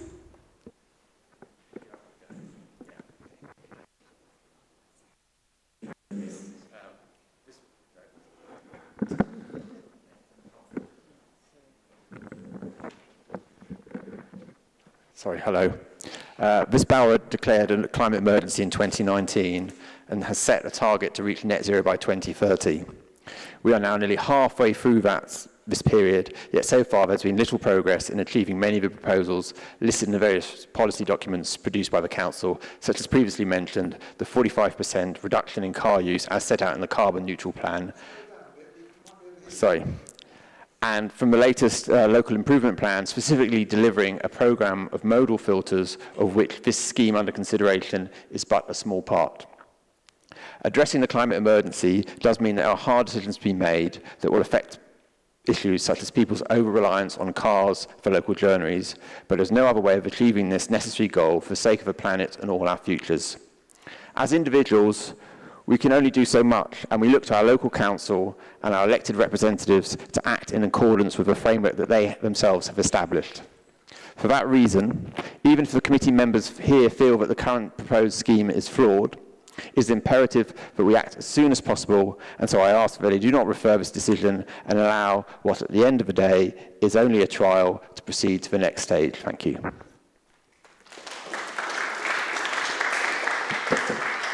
Thank you. Colin Humphreys, please. Colin, you here? Thank you. This is unorthodox. We'll try. Um, can you hear me? My name is Colin Humphreys. I live on Maze Hill, and I am a member of the Maze Hill Action Group. Over the past 12 years, traffic on our residential roads has increased by 70% due to sat-navs turning our streets into motorways. 29,000 people are killed or seriously injured in traffic accidents, and 31,000 deaths are attributed to obesity each year in the UK. 4,000 people are killed by air pollution in London alone each year. Having said all of that, I'm not here for any of those people. I am here for my two-year-old son and my two-week-old daughter. Road traffic accidents are the leading cause of death among children and young people. Of the last five times I have cycled on Maze Hill with my son on the bike, I have been dangerously close past three of those times. I want to be able to take my son to football without putting his life in danger. I am here to try to save my children's lives by reducing traffic on our residential roads. The Maze Hill residents conducted a survey related to the placement of our ANPR gate in the proposed traffic reduction scheme, and the survey received a unanimous response asking for the gate to be placed at the north end of the road. I want to say a huge thank you to our democratically elected councillors and the officers for proposing the scheme listening to residents' feedback, and for suggesting this change at the call-in. We support the introduction of the traffic reduction scheme, and we support the call-in changes regarding Maze Hill. The journey to helping people make better journeys is difficult, and we need to stand together against the extreme right wing who would rather our children died and our planet burned than they had a five minute longer drive to the shops. I stand together with all the people here today who want to reduce our dependency on cars to create a brighter, healthier future for Greenwich. Thank you, Mr Humphreys.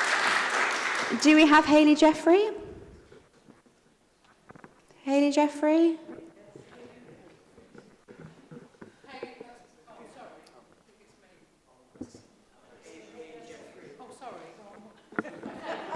Hayley Jeffrey. Thank you, Thank you, councillors, for this opportunity to address you tonight on the important matter for residents of Maidenstone Hill and Winforton Street. The report suggests ANPR for roads within the scheme, including Maidenstone and Winforton, and quotes the preference of the emergency services and refuse services for this option. This is not what residents want on these two streets. An important point about timed ANPR, which was rejected by the Council in one of the many consultations because timed ANPR gives a false sense of security for children as they are unaware when the cameras are on and when they are off. Who does this option benefit?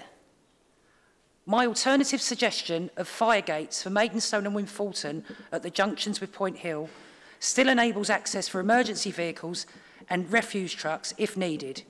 In my email to you yesterday, I quoted a number of streets in the area that have long enjoyed fire gates, which do the job of deterring dangerous cut-through traffic and providing access when needed, with apparently no complaint. I'm happy to name those streets, but do not want to take up time. But I say this tonight, if it works for them, then why not for us? I ask you to support this amendment to the decision by, made by Councillor Lekau. I'm happy to take questions, Madam Chair, but would like to hear from the officers tonight if they have arguments against my suggestion. And with respect, I think we are entitled to hear those arguments tonight in public rather than read about them in the minutes of this meeting. Thank you, Chair. Thank you very much. Have we got Vicky McGinley, please?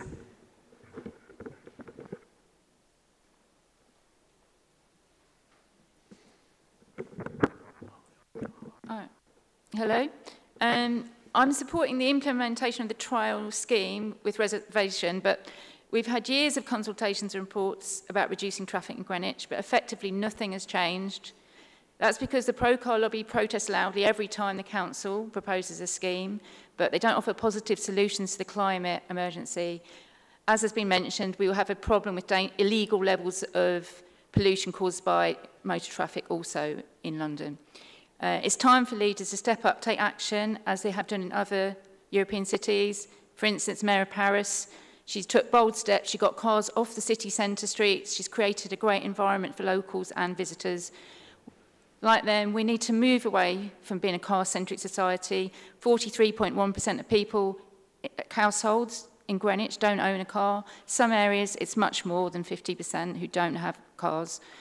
Um, we need to create healthier, safe streets for majority who walk and use public transport, who use wheelchairs or mobility scooters. Finally, I'd like to say I would prefer that residential streets are closed to motor vehicles all the time rather than just rush hour. I prefer physical barriers to ANPR because I was living in Maidstone here. We experienced the temporary LTN back in 2020 We found the hard barriers really increased safety and we created a really lovely sense of community for adults and children on the street. But I do support the trial as a compromise because I think something must be done now. Thank you very much. I'm now going to move to members of the public who are speaking against the implementation of the decision. Um, first, I have uh, David Scales.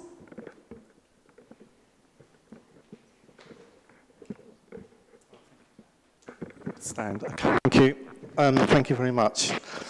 I'll stand here because it's easier to. Hope you can hear me. Um, yes, I'm a, I'm, my, my name is David Scales. I live in Blissett Street. I'm actually against the uh, scheme. I don't think the process by which it was decided, as has been said before, was very democratic. And as 70% objected or thereabouts, I don't really think their views are being taken into account or their suggestions for alternatives or modifications. Um, the second reason I'm very concerned as a council tenant is the equitability of the scheme, the new scheme. Boundary roads are also residential roads. Blackheath Hill, Bristol Street, Greenwich South Street. These streets have many um, social housing residents who live there. Sorry. Sorry. Sorry. Um, there are concerns that, um, that the displacement of traffic or the transfer of traffic from the uh, more affluent streets will um, cause problems in these streets with a build-up of traffic. Um, at the moment, it is distributed fairly evenly throughout the area, but I think during the times of the operation, the peak times, then Blackheath Hill will come to probably to a virtual standstill. I would also welcome from the council the exemptions that you've put forward for the scheme. However, there could be wider exemptions. For example, parents who take children with neurodivergent issues to a counselling centre who would be very stressed if caught up in very heavy traffic uh, from different areas of the borough where public transport isn't very easily served to get there. We also affect people with autoimmune diseases um, and people with hidden disabilities if they are not included in the exemptions. I'm not quite clear totally about the object of the scheme. If it's to prevent cut-through traffic using ANPR, that's fine. But why not give local residents an exemption who live within the scheme rather than hindering them returning to where they live? Most people who drive, just finishing, do so sparingly. They, they do so for essential journeys, carrying heavy shopping, for elderly relatives who would not um, welcome delivery drivers necessarily, um, people with dementia, etc and also for taking people to not just a, tri a, a, trip down the road to buy a newspaper, and also for housebound family members. So there are certain occasions when drivers do, people do drive, but I think do so sparingly. I think most residents who drive are considerate and will certainly not drive every day of the week, as thank, has been alleged. Thank um, you, Mr. Scales. Thank you very much. And also, um, just um, sorry. Sorry, you've, you've gone quite over two minutes say now. about, yeah, sorry, I've gone over. But in fact, one North London council um, was forced sorry, to apologise after wrongly boasting that LTN reduced pollution, whereas it had increased pollution by 26% on boundary you. roads. Thank you. Thank you. Thank you very much. Um, do we have Emily Norton, please? Councillor, can I just make sure that the um, the microphones are okay because half of that I couldn't understand. It's, it's not good for the residents. It's probably a, a battery in the machine that needs changing. We're using a different microphone now, so hopefully that will be better. Um, my name is Emily Norton. I'm speaking on behalf of the Westcombe Society. I'd like to make three points, please. One, the extremely high level of negative responses to the 2023 consultation has already been raised. The response rates were also high, in our opinion, very high for a consultation. The current proposals claim to have taken into account comments received, but the amendments have not been consulted on, so there is no accurate way of knowing whether they are acceptable to a significantly larger proportion of residents. Therefore, there is currently no mandate for going ahead. Section 5 of the report to this committee states that the amendments to the scheme will result in reduced benefits and a significant increase in cost to 220,000, as we understand it, as quoted in Appendix A, Section 10. We cannot support this sort of expenditure on what is essentially an experiment, especially in the current financial climate. Surely it would be cheaper to consult again first. Two, we are very concerned about longer journeys and displacement of traffic into other residential areas and onto main roads, which are also residential, are already polluted and congested, especially during peak hours when traffic would displace onto them, and where a higher proportion of residents probably don't have cars themselves. The report cites studies which show only small amounts of displacement, but other studies differ. Is it fair and does it meet council policy to displace traffic from our relatively peaceful residential streets, even a small amount, if the displaced traffic moves onto other residential streets that are already more polluted and congested than ours? Three,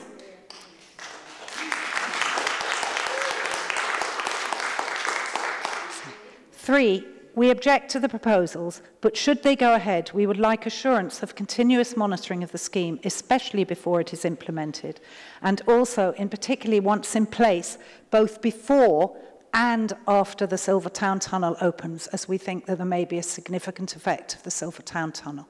Thank you. Thank you. Do we have Joe Jeffrey, uh, sorry, uh, Val Ferguson, who's going to speak on behalf of Joe Jeffrey?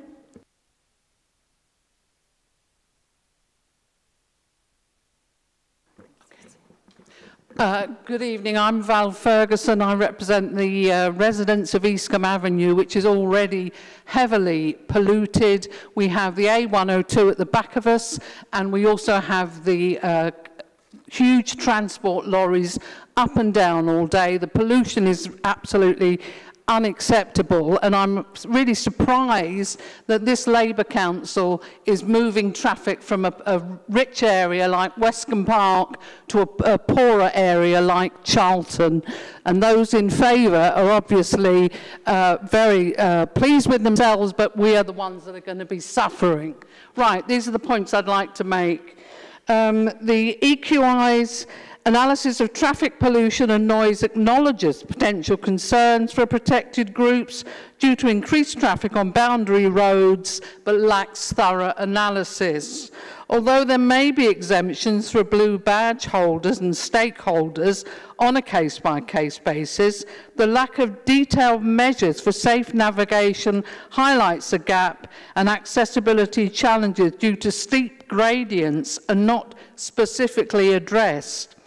The assessment mentions impacts on elderly, pregnant people, racial minority groups, including boundary road residents, where up to 80% are non-white but lacks detailed mitigation strategies. It also discusses socio-economic impacts, but does not detail the contrast between social housing tenants inside LTNs, 4.7, and on boundary roads, 58%. Thank you, A significant Ferguson. oversight is the lack of We're comprehensive monitoring Thank to you. evaluate, but lacks any detailed measures. Last thing, LTNs must benefit the community equitably.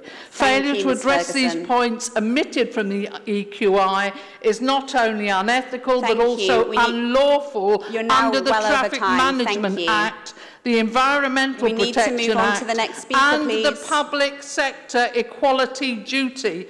Therefore, a comprehensive Thank independent you. We're moving on to the, the next speaker now. Thank last you very sentence much. of the EQI is requested before the commencement of the scheme. Thank you. Can we move to Alan Pike now, please? And I would ask everyone if they can please keep to time. We have a lot of speakers to get through. Is Alan Pike here, please? Thank you. Thank you, Chair. I'll, I'll, three quick points. Um, a lot of responses were not made on Commonplace. They were sent to the Council by email and correspondence. So many responses, we were told that the Council couldn't answer them individually. But we, those of us who sent them in got a standard response saying all responses captured as part of the consultation will be analysed appropriately and considered as part of the decision-making process. It has been confirmed to me by the Council that those responses were not analysed in the decision report. Uh, I've been told that they were taken into account, but the decision report does not analyse and give you information on the content of any of those responses at all. There, we don't know what those people thought. I saw um, an FOI response um, dated the 7th of November 1922, which was three months before the consultation began, uh, which was circulated within the council to various officers uh, and said that consultants had been appointed to assist in delivering the Western East Greenwich LTN brackets. We're working on the title. The objective continued continue to tell us, objective was uh, to deliver a scheme under an experimental traffic reduction order in March, April 2023. That was three months before the first part of the consultation started. I've no problem, no one has any problem with consultants and officers sketching out ideas as consultations are building up, but the Council can hardly be surprised that people think that there was predetermination. On a final point, Chair, I'd just draw your attention to it if the time's running out, the, the point that Councillor Greenmore raised about this myths leaflet that was circulated. I've got a lot of FOI stuff on it, which I can't give in two minutes, but let me just read one if I may.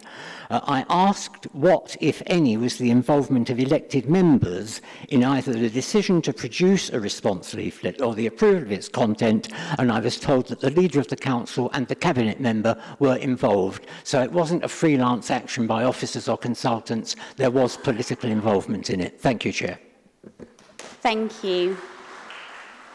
Um, can I now have Vicky Barry, please?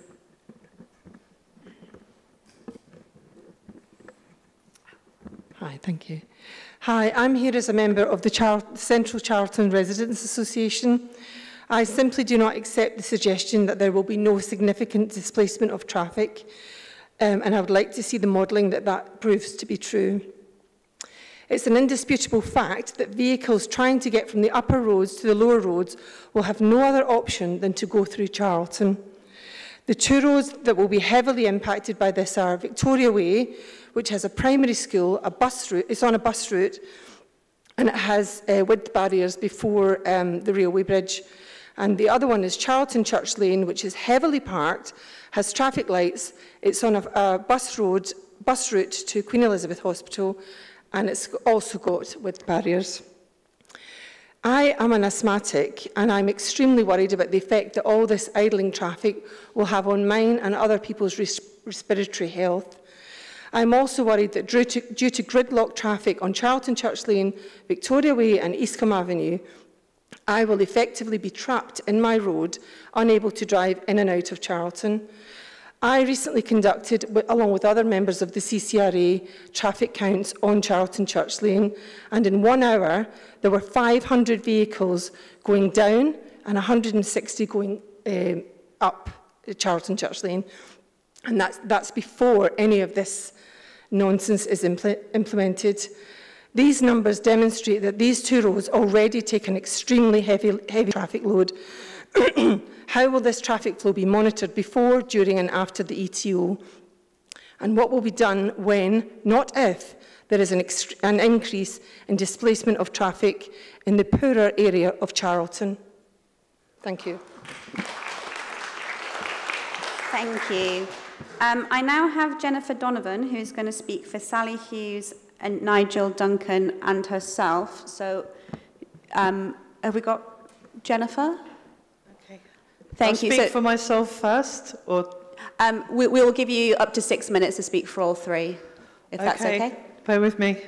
My name is Jenny Donovan. I am a Greenwich Send parent, full-time carer to a disabled child who attends the only school within the borough able to meet her complex needs. It is 3.2 miles from my home.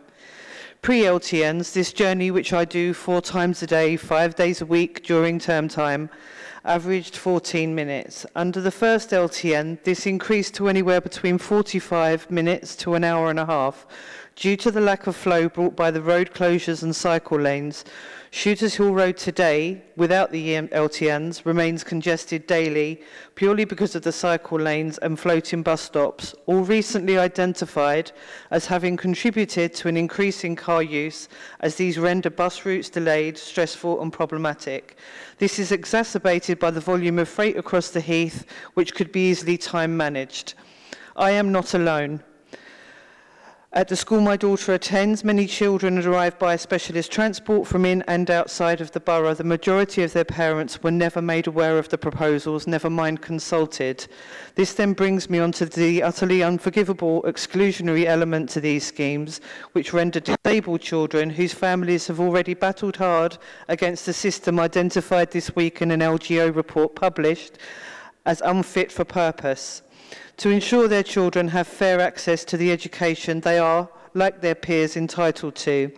The Royal Borough of Greenwich exemption scheme details those who may suffer distress and anxiety from extra journey times. Disabled children already struggle to access education successfully. As a parent, I cannot describe to you the monumental efforts this takes on a daily basis. So for the very council legally obliged to deliver them education to, to facilitate such a scheme is not only nonsensical but inhumane. This applies to all those within the vulnerable category, elderly, sick and the carers who support them. The Council's proposed discretionary hardship scheme has already been commented on in the officer's report, on the 8th of March decision as unworkable. I would thus encourage your Borough of Greenwich to consider that they were re-elected on the premise they would serve the many, not the few. These schemes and all they stand for are contrary to this spirit and ethos and detrimental to all who live here, the most divisive scheme we have seen in our time. Thank you. Um, that's just over two minutes. I'm, I'm sorry. Could you now move on to um, Okay. either Sally or Nigel, I will, please? I will now read on behalf of Nigel Duncan. I am a retired professor and live on Royal Hill. I wish to address air quality and pollution. The Council's own evidence shows that the worst pollution is on the boundary roads and not within the proposed scheme areas. This is true of nitrogen dioxide emissions and both sizes of particulate pollution. It is also the boundary roads, particularly Trafalgar Road, where the majority of accidents occur. A scheme that exacerbates that situation is irrational. It is boundary road pollution that caused Ella Kissy Deborah's death. The council cites research to suggest that LTNs do not significantly increase tra increase traffic outside their areas. I'm sorry. However, the most recent departmental report shows that this is exactly what does happen in some cases. It is likely to do so in the case of these schemes. I say this from my experience of the failed scheme in West Greenwich. I only use our car for essential journeys, preferring active travel. The Council's own local implementation plan shows that this is the norm in this area, given that we have already have the, slight, the highest proportion of active travel in the borough. So my experience will be common to many. When I did use the car, I had to drive further, sit for longer in traffic and contribute more to the car I had to drive further, sit for longer in traffic and contribute more to pollution. This scheme will force tradespeople and delivery drivers to do the same. The scheme will therefore add to the pollution on the boundary roads and generally, please withdraw it. Thank you. And if you could now move on to the statement by Sally Hughes. Sally Hughes now, yes. Um, apologies. Multiple. The Council's policy is that there is a step change in travel behaviour is necessary in our health and well-being. If we don't take significant action, we will not reach net zero carbon emissions by 2030. Their aim to achieve this is by punishment and coercion. Council officers have admitted that journeys around the long boundary routes will be time-consuming and slow, exposing everyone to more pollution, ill health and hardship referred to within the exemption hardship policy. Council policy changes all the time but fails to mention the revenue expected from these schemes, fails to implement national policy in traffic management, guidance from government, safety or general imp implementation. Previous council policies have said an LTN will make people healthier and have linked the LTN to a reduction in childhood obesity, hospital admissions for pulmonary disease without evidence That is a cynical deception. This area will not reduce pollution reduction, even for the minor even for the minority of residents who benefit from a small reduction in traffic. The truth being that this serves a very privileged few and not the majority who voted overwhelmingly against these proposals and schemes. The Council rejects official public policy. Road traffic law generally only allows road closures on safety grounds in general. The Council have provided no evidence of a lack of safety in the LTN area. The scheme will make the area less safe. It is against the Mayor's transport policy and road traffic law to impede bus routes, all of which, except the 386, bus routes on Trafalgar Road that are vital to active travel are already congested by road narrowing via the cycle lanes. The great majority of accidents referred to earlier, including those involving cyclists and pedestrians, are in fact on Blackheath Hill and Trafalgar Road, not within central Greenwich. The stats all exist. The major shopping you. street for our neighbourhood is therefore impacted negatively. Thank you. Thank you, Ms Sorry. Donovan. Thank you. David Quarmby, please.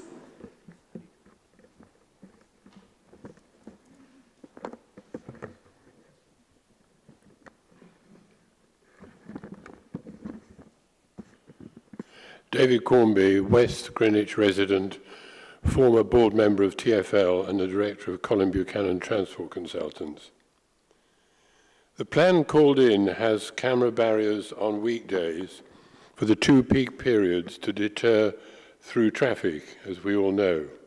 How far should these be used also to coerce local residents to do more working, walking, cycling and bus and public transport travel taken, taken among all those covering a wide variety of conditions and circumstances.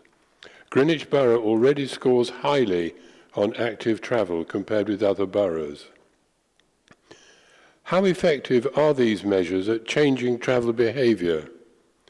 A recent Lambeth study of four LTNs showed resident driver trips reducing only 6%, leaving 94% still choosing to endure the LTN's inconveniences, adding to boundary road traffic already congested to complete their circuitous journeys. Whatever the comparatives with other areas, within our area, there's several steep hills, only two of which are served by buses, were recognized even in PJA consultants' report, quote, likely to be a key barrier for people to walk and cycle, close quotes. Going ahead could generate little behavior change and a massive inconvenience to a wide range of people, as we are hearing today. How fair is the plan? I suggest that among other factors, it discriminates against residents, some carrying tools and materials, who must use a car or van to reach dispersed workplaces not reachable by public transport. Building sites, manufacturing businesses are scattered across South London. The Cabinet member Thank- considered option three. Thank you, Mr Quarmby. We're at I'll be very quick. Allowing residents to buy £100 permits to pass camera barriers unrestricted, which was dismissed as inequitable. At a stroke, this and other problems could disappear by issuing annual permits to residents and local businesses at merely a Thank small you, Ms- administrative Mr charge. Quarmby. Thank you. Um, I now have Clave Gregory speaking on behalf of Jane Gregory.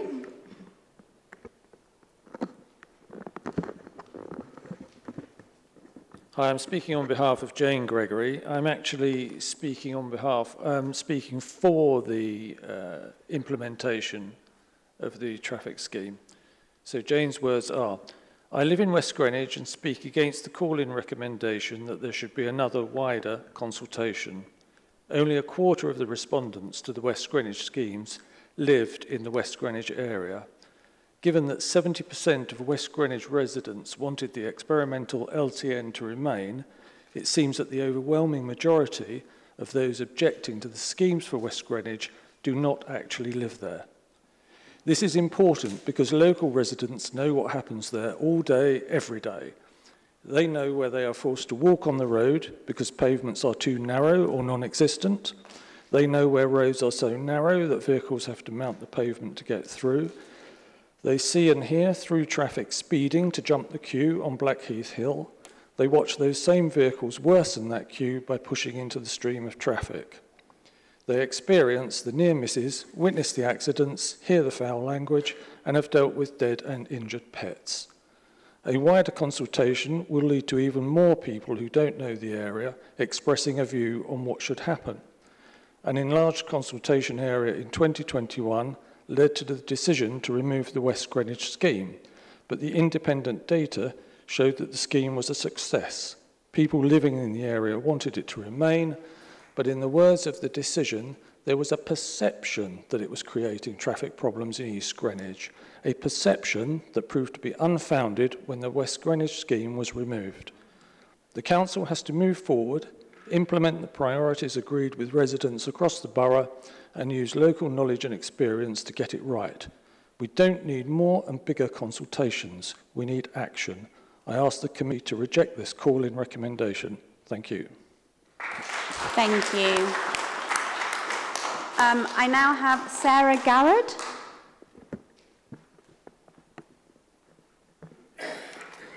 Thank you. Um, firstly, it's a fallacy that um, this scheme will reduce carbon emissions in the borough. And also, just to point out, just because it worked in Waltham Forest doesn't mean it will work here. We have a completely different typography. For the last 35 years, I have lived in West Greenwich and in East Greenwich, and I've been running a business here. I attend I've attended all the previous meetings for the previous LTNs a few years ago, held by a different set of council staff. Thankfully, the council then saw the results of the displaced traffic and pollution and discontinued the scheme. It is scientific fact that the idling engines of static vehicles in a jam produce more pollutants than free-flowing vehicles. They are, of course, on the road for longer too. By closing side roads in rush hour, we will be adding to the already jammed main roads, e.g. Trafalgar Road and Woolwich Road, which have already had their capacity halved by the new cycle lanes. These roads are used by many, many people, especially pedestrians, to reach schools, libraries, swimming pools and shops, etc. Adding to the emissions on these major roads directly contradicts the Greenwich carbon neutral plan and aspirations to reduce asthma and lung disease. My concern is repollution data.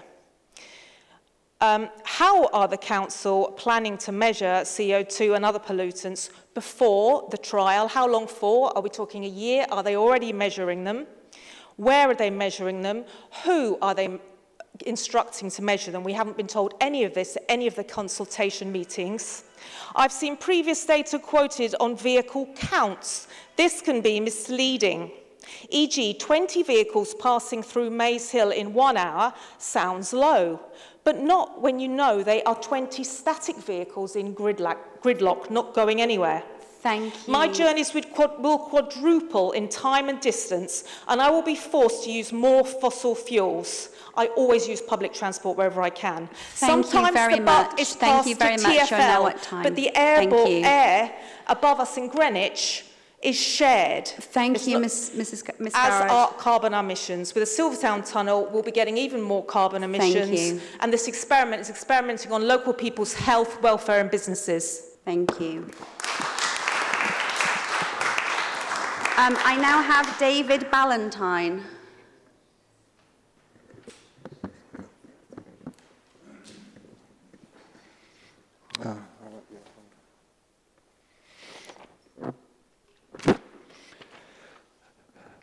I'm speaking on behalf of myself and my wife, who cannot be here through breathing difficulties, and at home she's not well. We live in Greenwich South Street. We live in Greenwich South Street at the narrower south end, where the volume of traffic greatly increased during the 2022 unfair LTN scheme.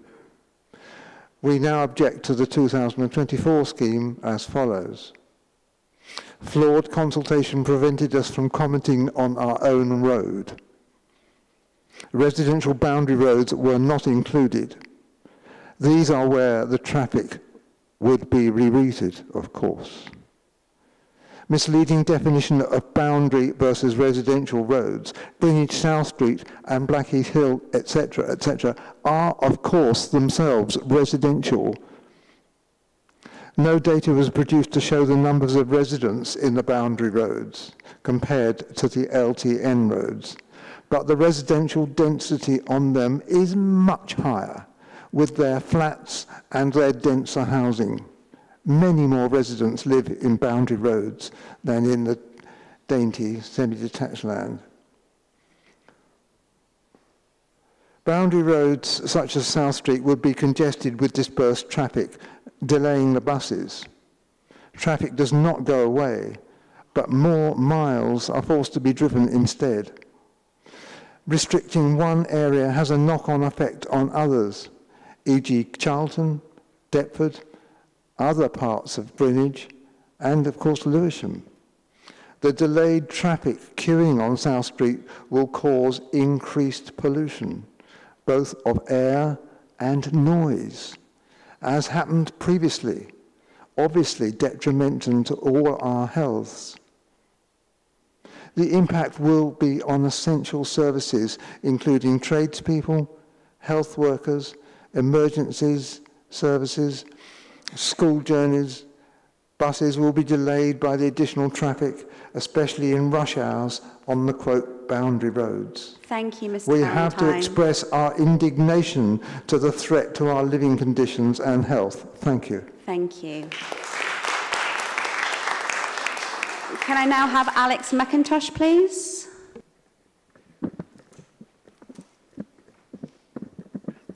Thank you. Um, I'd love to be coerced into running up hills, but you know, I'm temporarily uh, not be good at it. Let me get my notes out.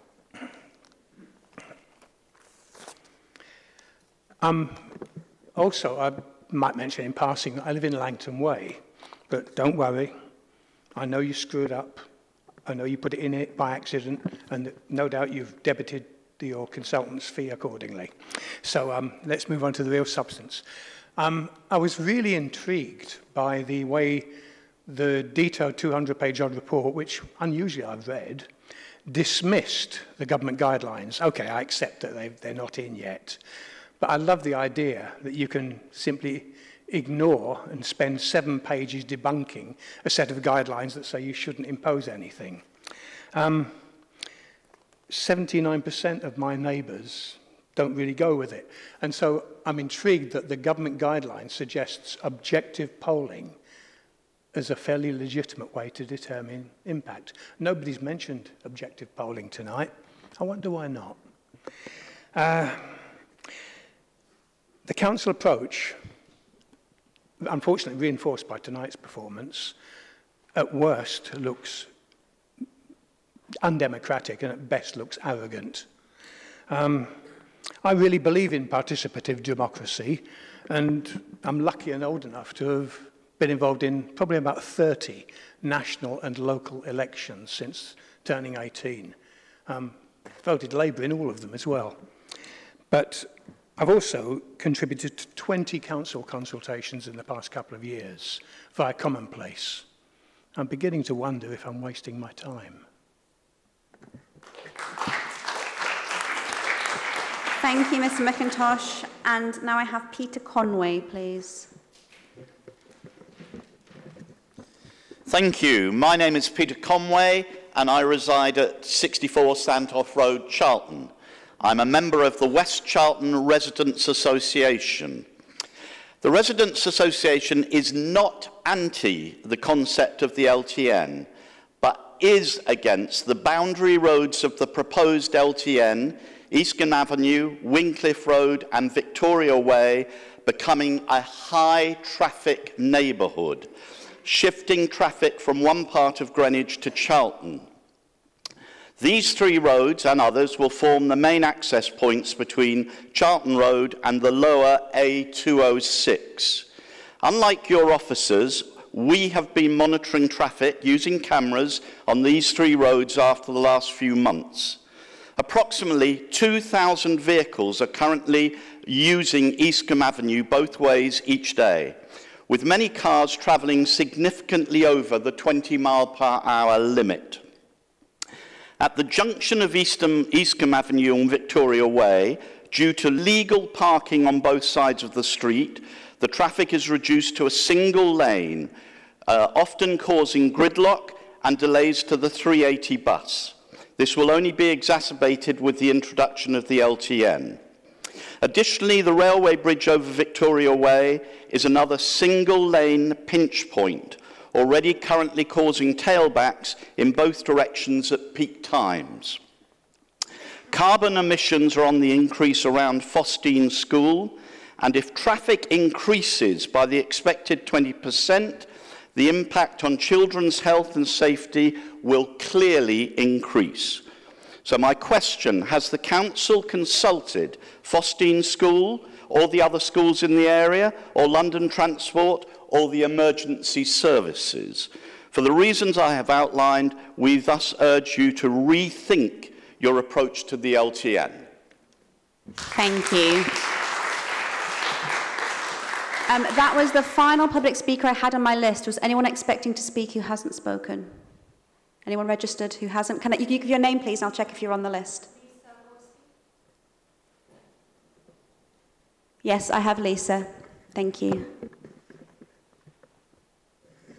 Thank you. Hi, my name is Lisa Gorski. I am a resident on Mayhill Road, SE7. I also work with Peter as a representative of the Charlton Residents Association. Before I say anything else, this has already been covered, but I do want to highlight that I personally am really pro the net zero target, fully supportive of that. Um, and as a community, West Charlton residents are not against low traffic initiatives. We've heard a lot tonight about public health. I don't want to put words in anyone's mouth, but I think I can say with some confidence we're all also pro-public health, but that does apply to the public en masse and not just the selected few that will be impacted positively by what's being recommended. What we are against is being completely ignored, particularly when us being ignored will lead to the implementation of what we perceive to be an ill thought through, patched up, um, scheme that has, stands to impact the quality of life and the health of many people in the Boundary Roads. Um, not only for residents in Charlton with their families, but also for the many people that use the schools, the nurseries, etc., that are in those boundary roads that also stand to be impacted, where safety is also a concern.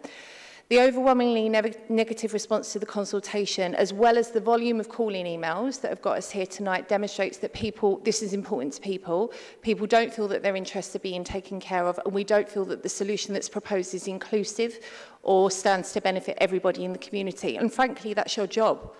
It's not your job to do something. I, I empathise fully with you know, the gentleman who's young children and everyone who's talked about respiratory issues.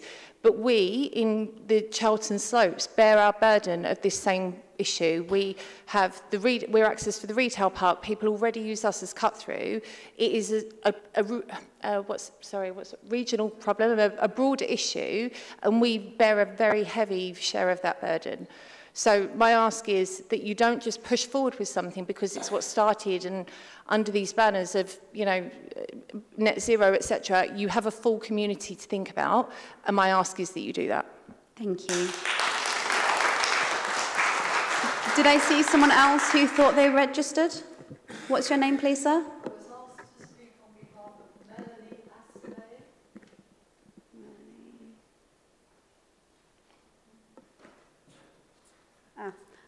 Yes, that's fine. Thank you.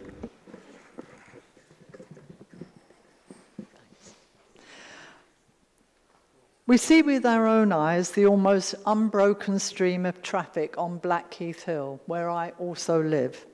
The situation is made worse under the previous scheme and will always be made worse by any traffic scheme that doesn't place the boundary roads and surrounding streets at the heart of any traffic survey.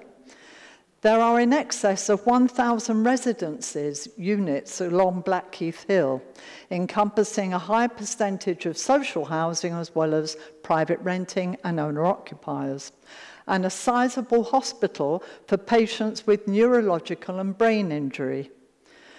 The ownership, the ownership is extremely low of cars along this road. They can't afford them. The previous experiments made by the Greenwich Council on some of its residents was distressing, which also included the diagnosis of Melanie's husband with late onset asthma. The Brain Injury Unit physio staff also regularly walk patients along Blackheath Hill for rehab. Many suffer with serious pulmonary issues, as do a growing percentage of young children under the age of 12 living on Parkside, where there is a whole block designated to people of all age with chronic health issues. Um, so what we're asking is what somebody mentioned about people having more exercise and walking. I'd also add that a number of the youngsters that live on Parkside walk to school up Blackheath Hill to John Ball and to the St Teresa's School on the other side of the road. I don't think that's going to promote their health. The greater majority of residents on Blackheath Hill actually did vote against the introduction of the LTN in 2022 and now obviously are even more adamant that an introduction of a much enlarged LTN will actually bring no or little benefit to any of the residents there. Thank It you. will- all right. Thank you. You're now at time. Thank you very much. Can I just say one, it's one last thing though, which I think is important. Any gains in reducing pollution on Blackheath Hill through ULEZ will be cancelled out if these proposals are adopted due to impact of displaced traffic onto our Thank road. you. Thank you. The, the gentleman behind, can I have your name, please?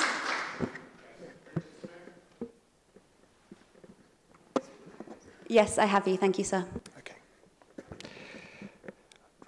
Um, I'm part of the Gloucester Circus Garden Committee, and we've pulled together the views of residents of Gloucester Circus into a presentation which has been sent to the committee members about the original proposals for the ETO to remove the bollards on Gloucester Circus and reopen it to two-way traffic. Uh, we're pleased to see that the latest report from Councillor Lekau and the transport officers are advising that those bollards now remain and the traffic will not flow through. By way of background, this section of Gloucester Circus leading to Crooms Hill was closed in 2016 due to high volumes of through, cut-through traffic and for major concerns for pedestrian safety after some very close shaves. Um, this section of the road is very narrow. It's not wide enough for two vehicles to pass. And in addition, there's no pavement upon part of it, so pedestrians have to walk in the road. Um, if the road was reopened, then oncoming vehicles would need to mount the pavement to pass.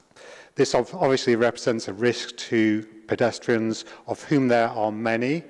We did a pedestrian survey back in April, which showed more than 2,000 pedestrians per day use that road to go to and from Greenwich Park on an average weekend and 1,700 on an average weekday, including many school children. Um, that suggests more than 650,000 pedestrians per year use that road. So in summary, we would like strongly support the retention of the traffic bollards, to protect, to, to protect the pedestrians and both during the trial scheme and afterwards when the final traffic management plan is implemented. Thank you. Thank you. And I think, I didn't, did I see another hand? Sorry. Can you give your name, please?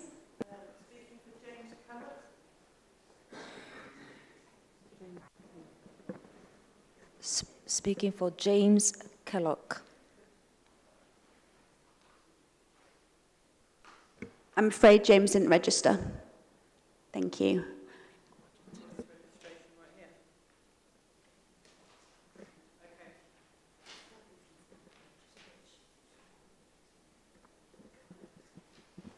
Okay, thank you. Um, I'd now like to ask the Cabinet member to respond to any points that she wishes to do so. Um, thank you, Chair. And I'd first like to apologise for um, having to disappear periodically um, during this. It's um, unfortunate uh, response to some medication I'm on, so um, my apologies. Um, I think a lot of what's been said had been covered earlier on in the um, previous reports and the previous comments that were, were made. I think there are a couple of things that the officers would like to pick up on. And um, so I'm going to pass it over to them to, to, to, to take that on.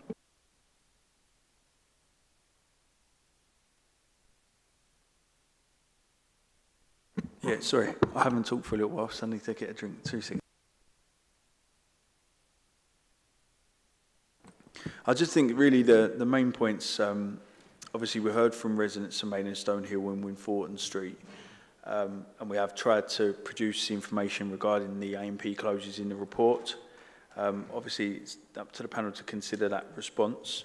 Um, also, there was quite a lot of discussion around exemptions, individual circumstances, and um, I just wanted to reinforce the fact that, that we, we obviously have extended the exemptions that are available to individual circumstances as well, which we'll work through and give information. Oh, sorry, work through and give information on um, in regards to how to apply for those and um, how to set up that system at a later point.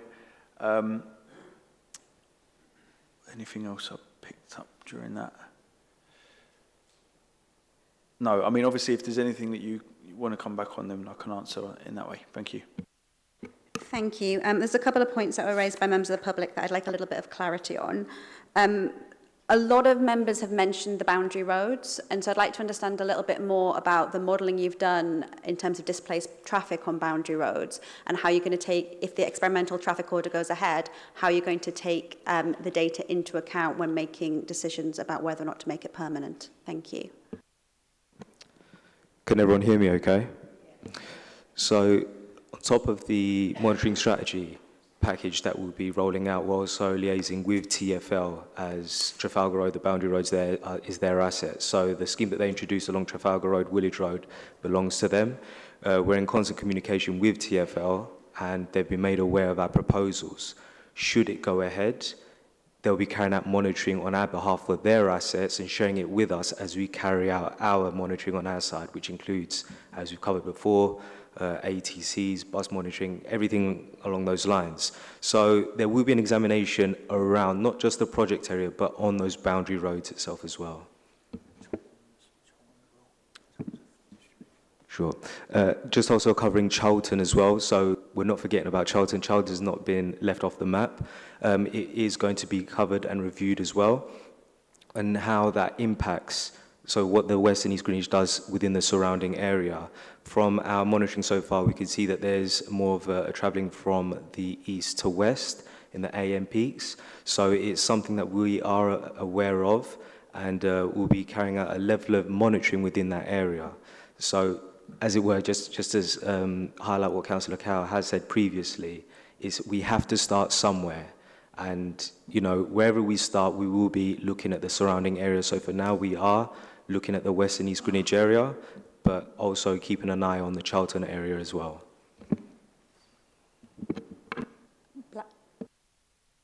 Sorry, I'd just like to add on Blackheath. Thank you. Um, I've just got one more and then I'll, I'll pass over. Thank you, Councillor Greenwell. Um, A resident, uh, Mr Pike, mentioned the responses that were sent to the council. Can you confirm that they were taken into account as well as the responses um, on commonplace? Yes, uh, I believe it was regarding the recent FOI asking if email correspondences had been considered. We did respond. Was it not that one, no?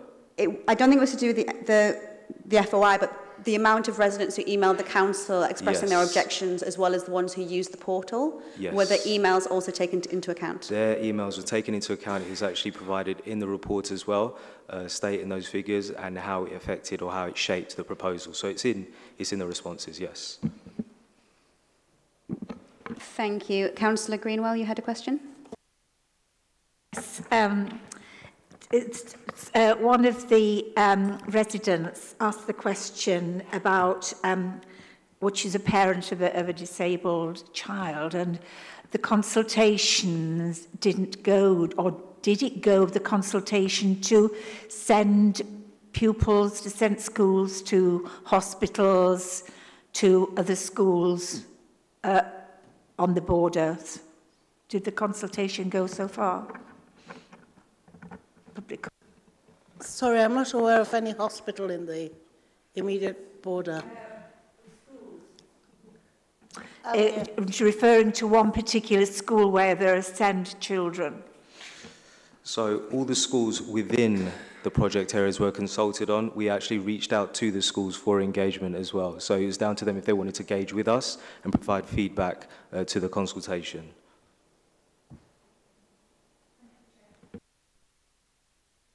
Thank you. Um, there's no further questions. Would the um, the councillors who brought the call-ins like to make any additional comments before we make a determination? Councillor Hartley?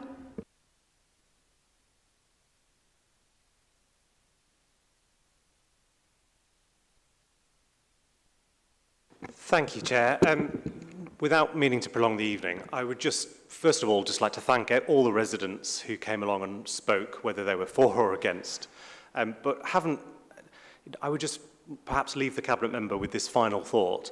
Has, hasn't what we've heard tonight demonstrated that actually, you know, that this remains so contentious um, and there is such a lack of confidence in the consultation process that has got us to this uh, part, I, I just don't understand what's to be lost by consulting specifically on the amended option A.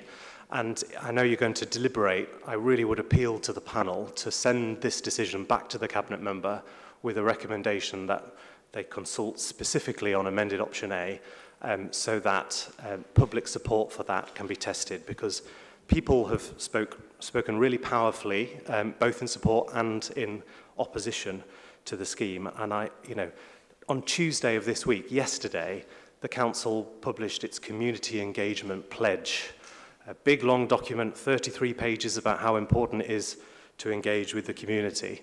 And here we are on Wednesday, and you know, this is community engagement is not has not gone well in this example, and I think there's a chance there's a chance to fix it.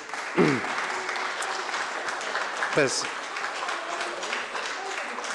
there's a, there's a chance to fix that tonight uh, to avoid history from repeating itself. Thank you. Thank you. Um, does the Cabinet member have any more comments before we uh, adjourn to make a, a deliberation? Um, Chair. Okay, uh, thank you all very much. We're now going to adjourn to consider all the representations that have been made and deliberate. You're free to wait into this room when we return, together with our comments. We have decided to refer the decision back to the Cabinet member, and we ask that she takes into account the following comments in reconsidering the decision of the 29th of February. Firstly, in light of comments raised tonight, to ensure that she is satisfied about the adequacy of consultation that has taken place, and that she's satisfied about the adequacy of consultation that will take place if the experimental order is implemented. Secondly, to consider the amendments proposed by the officers in the call-in report. Thirdly, to reflect on the comments made about specific roads tonight. And finally, if the experimental order goes ahead, to ensure that there are adequate arrangements in place for monitoring impact, in particular for those boundary roads and the neighbouring areas. Um, that concludes our decision. I just want to thank you all again for your time tonight. It's been a long evening, so thank you all very much for your contributions. Thank you.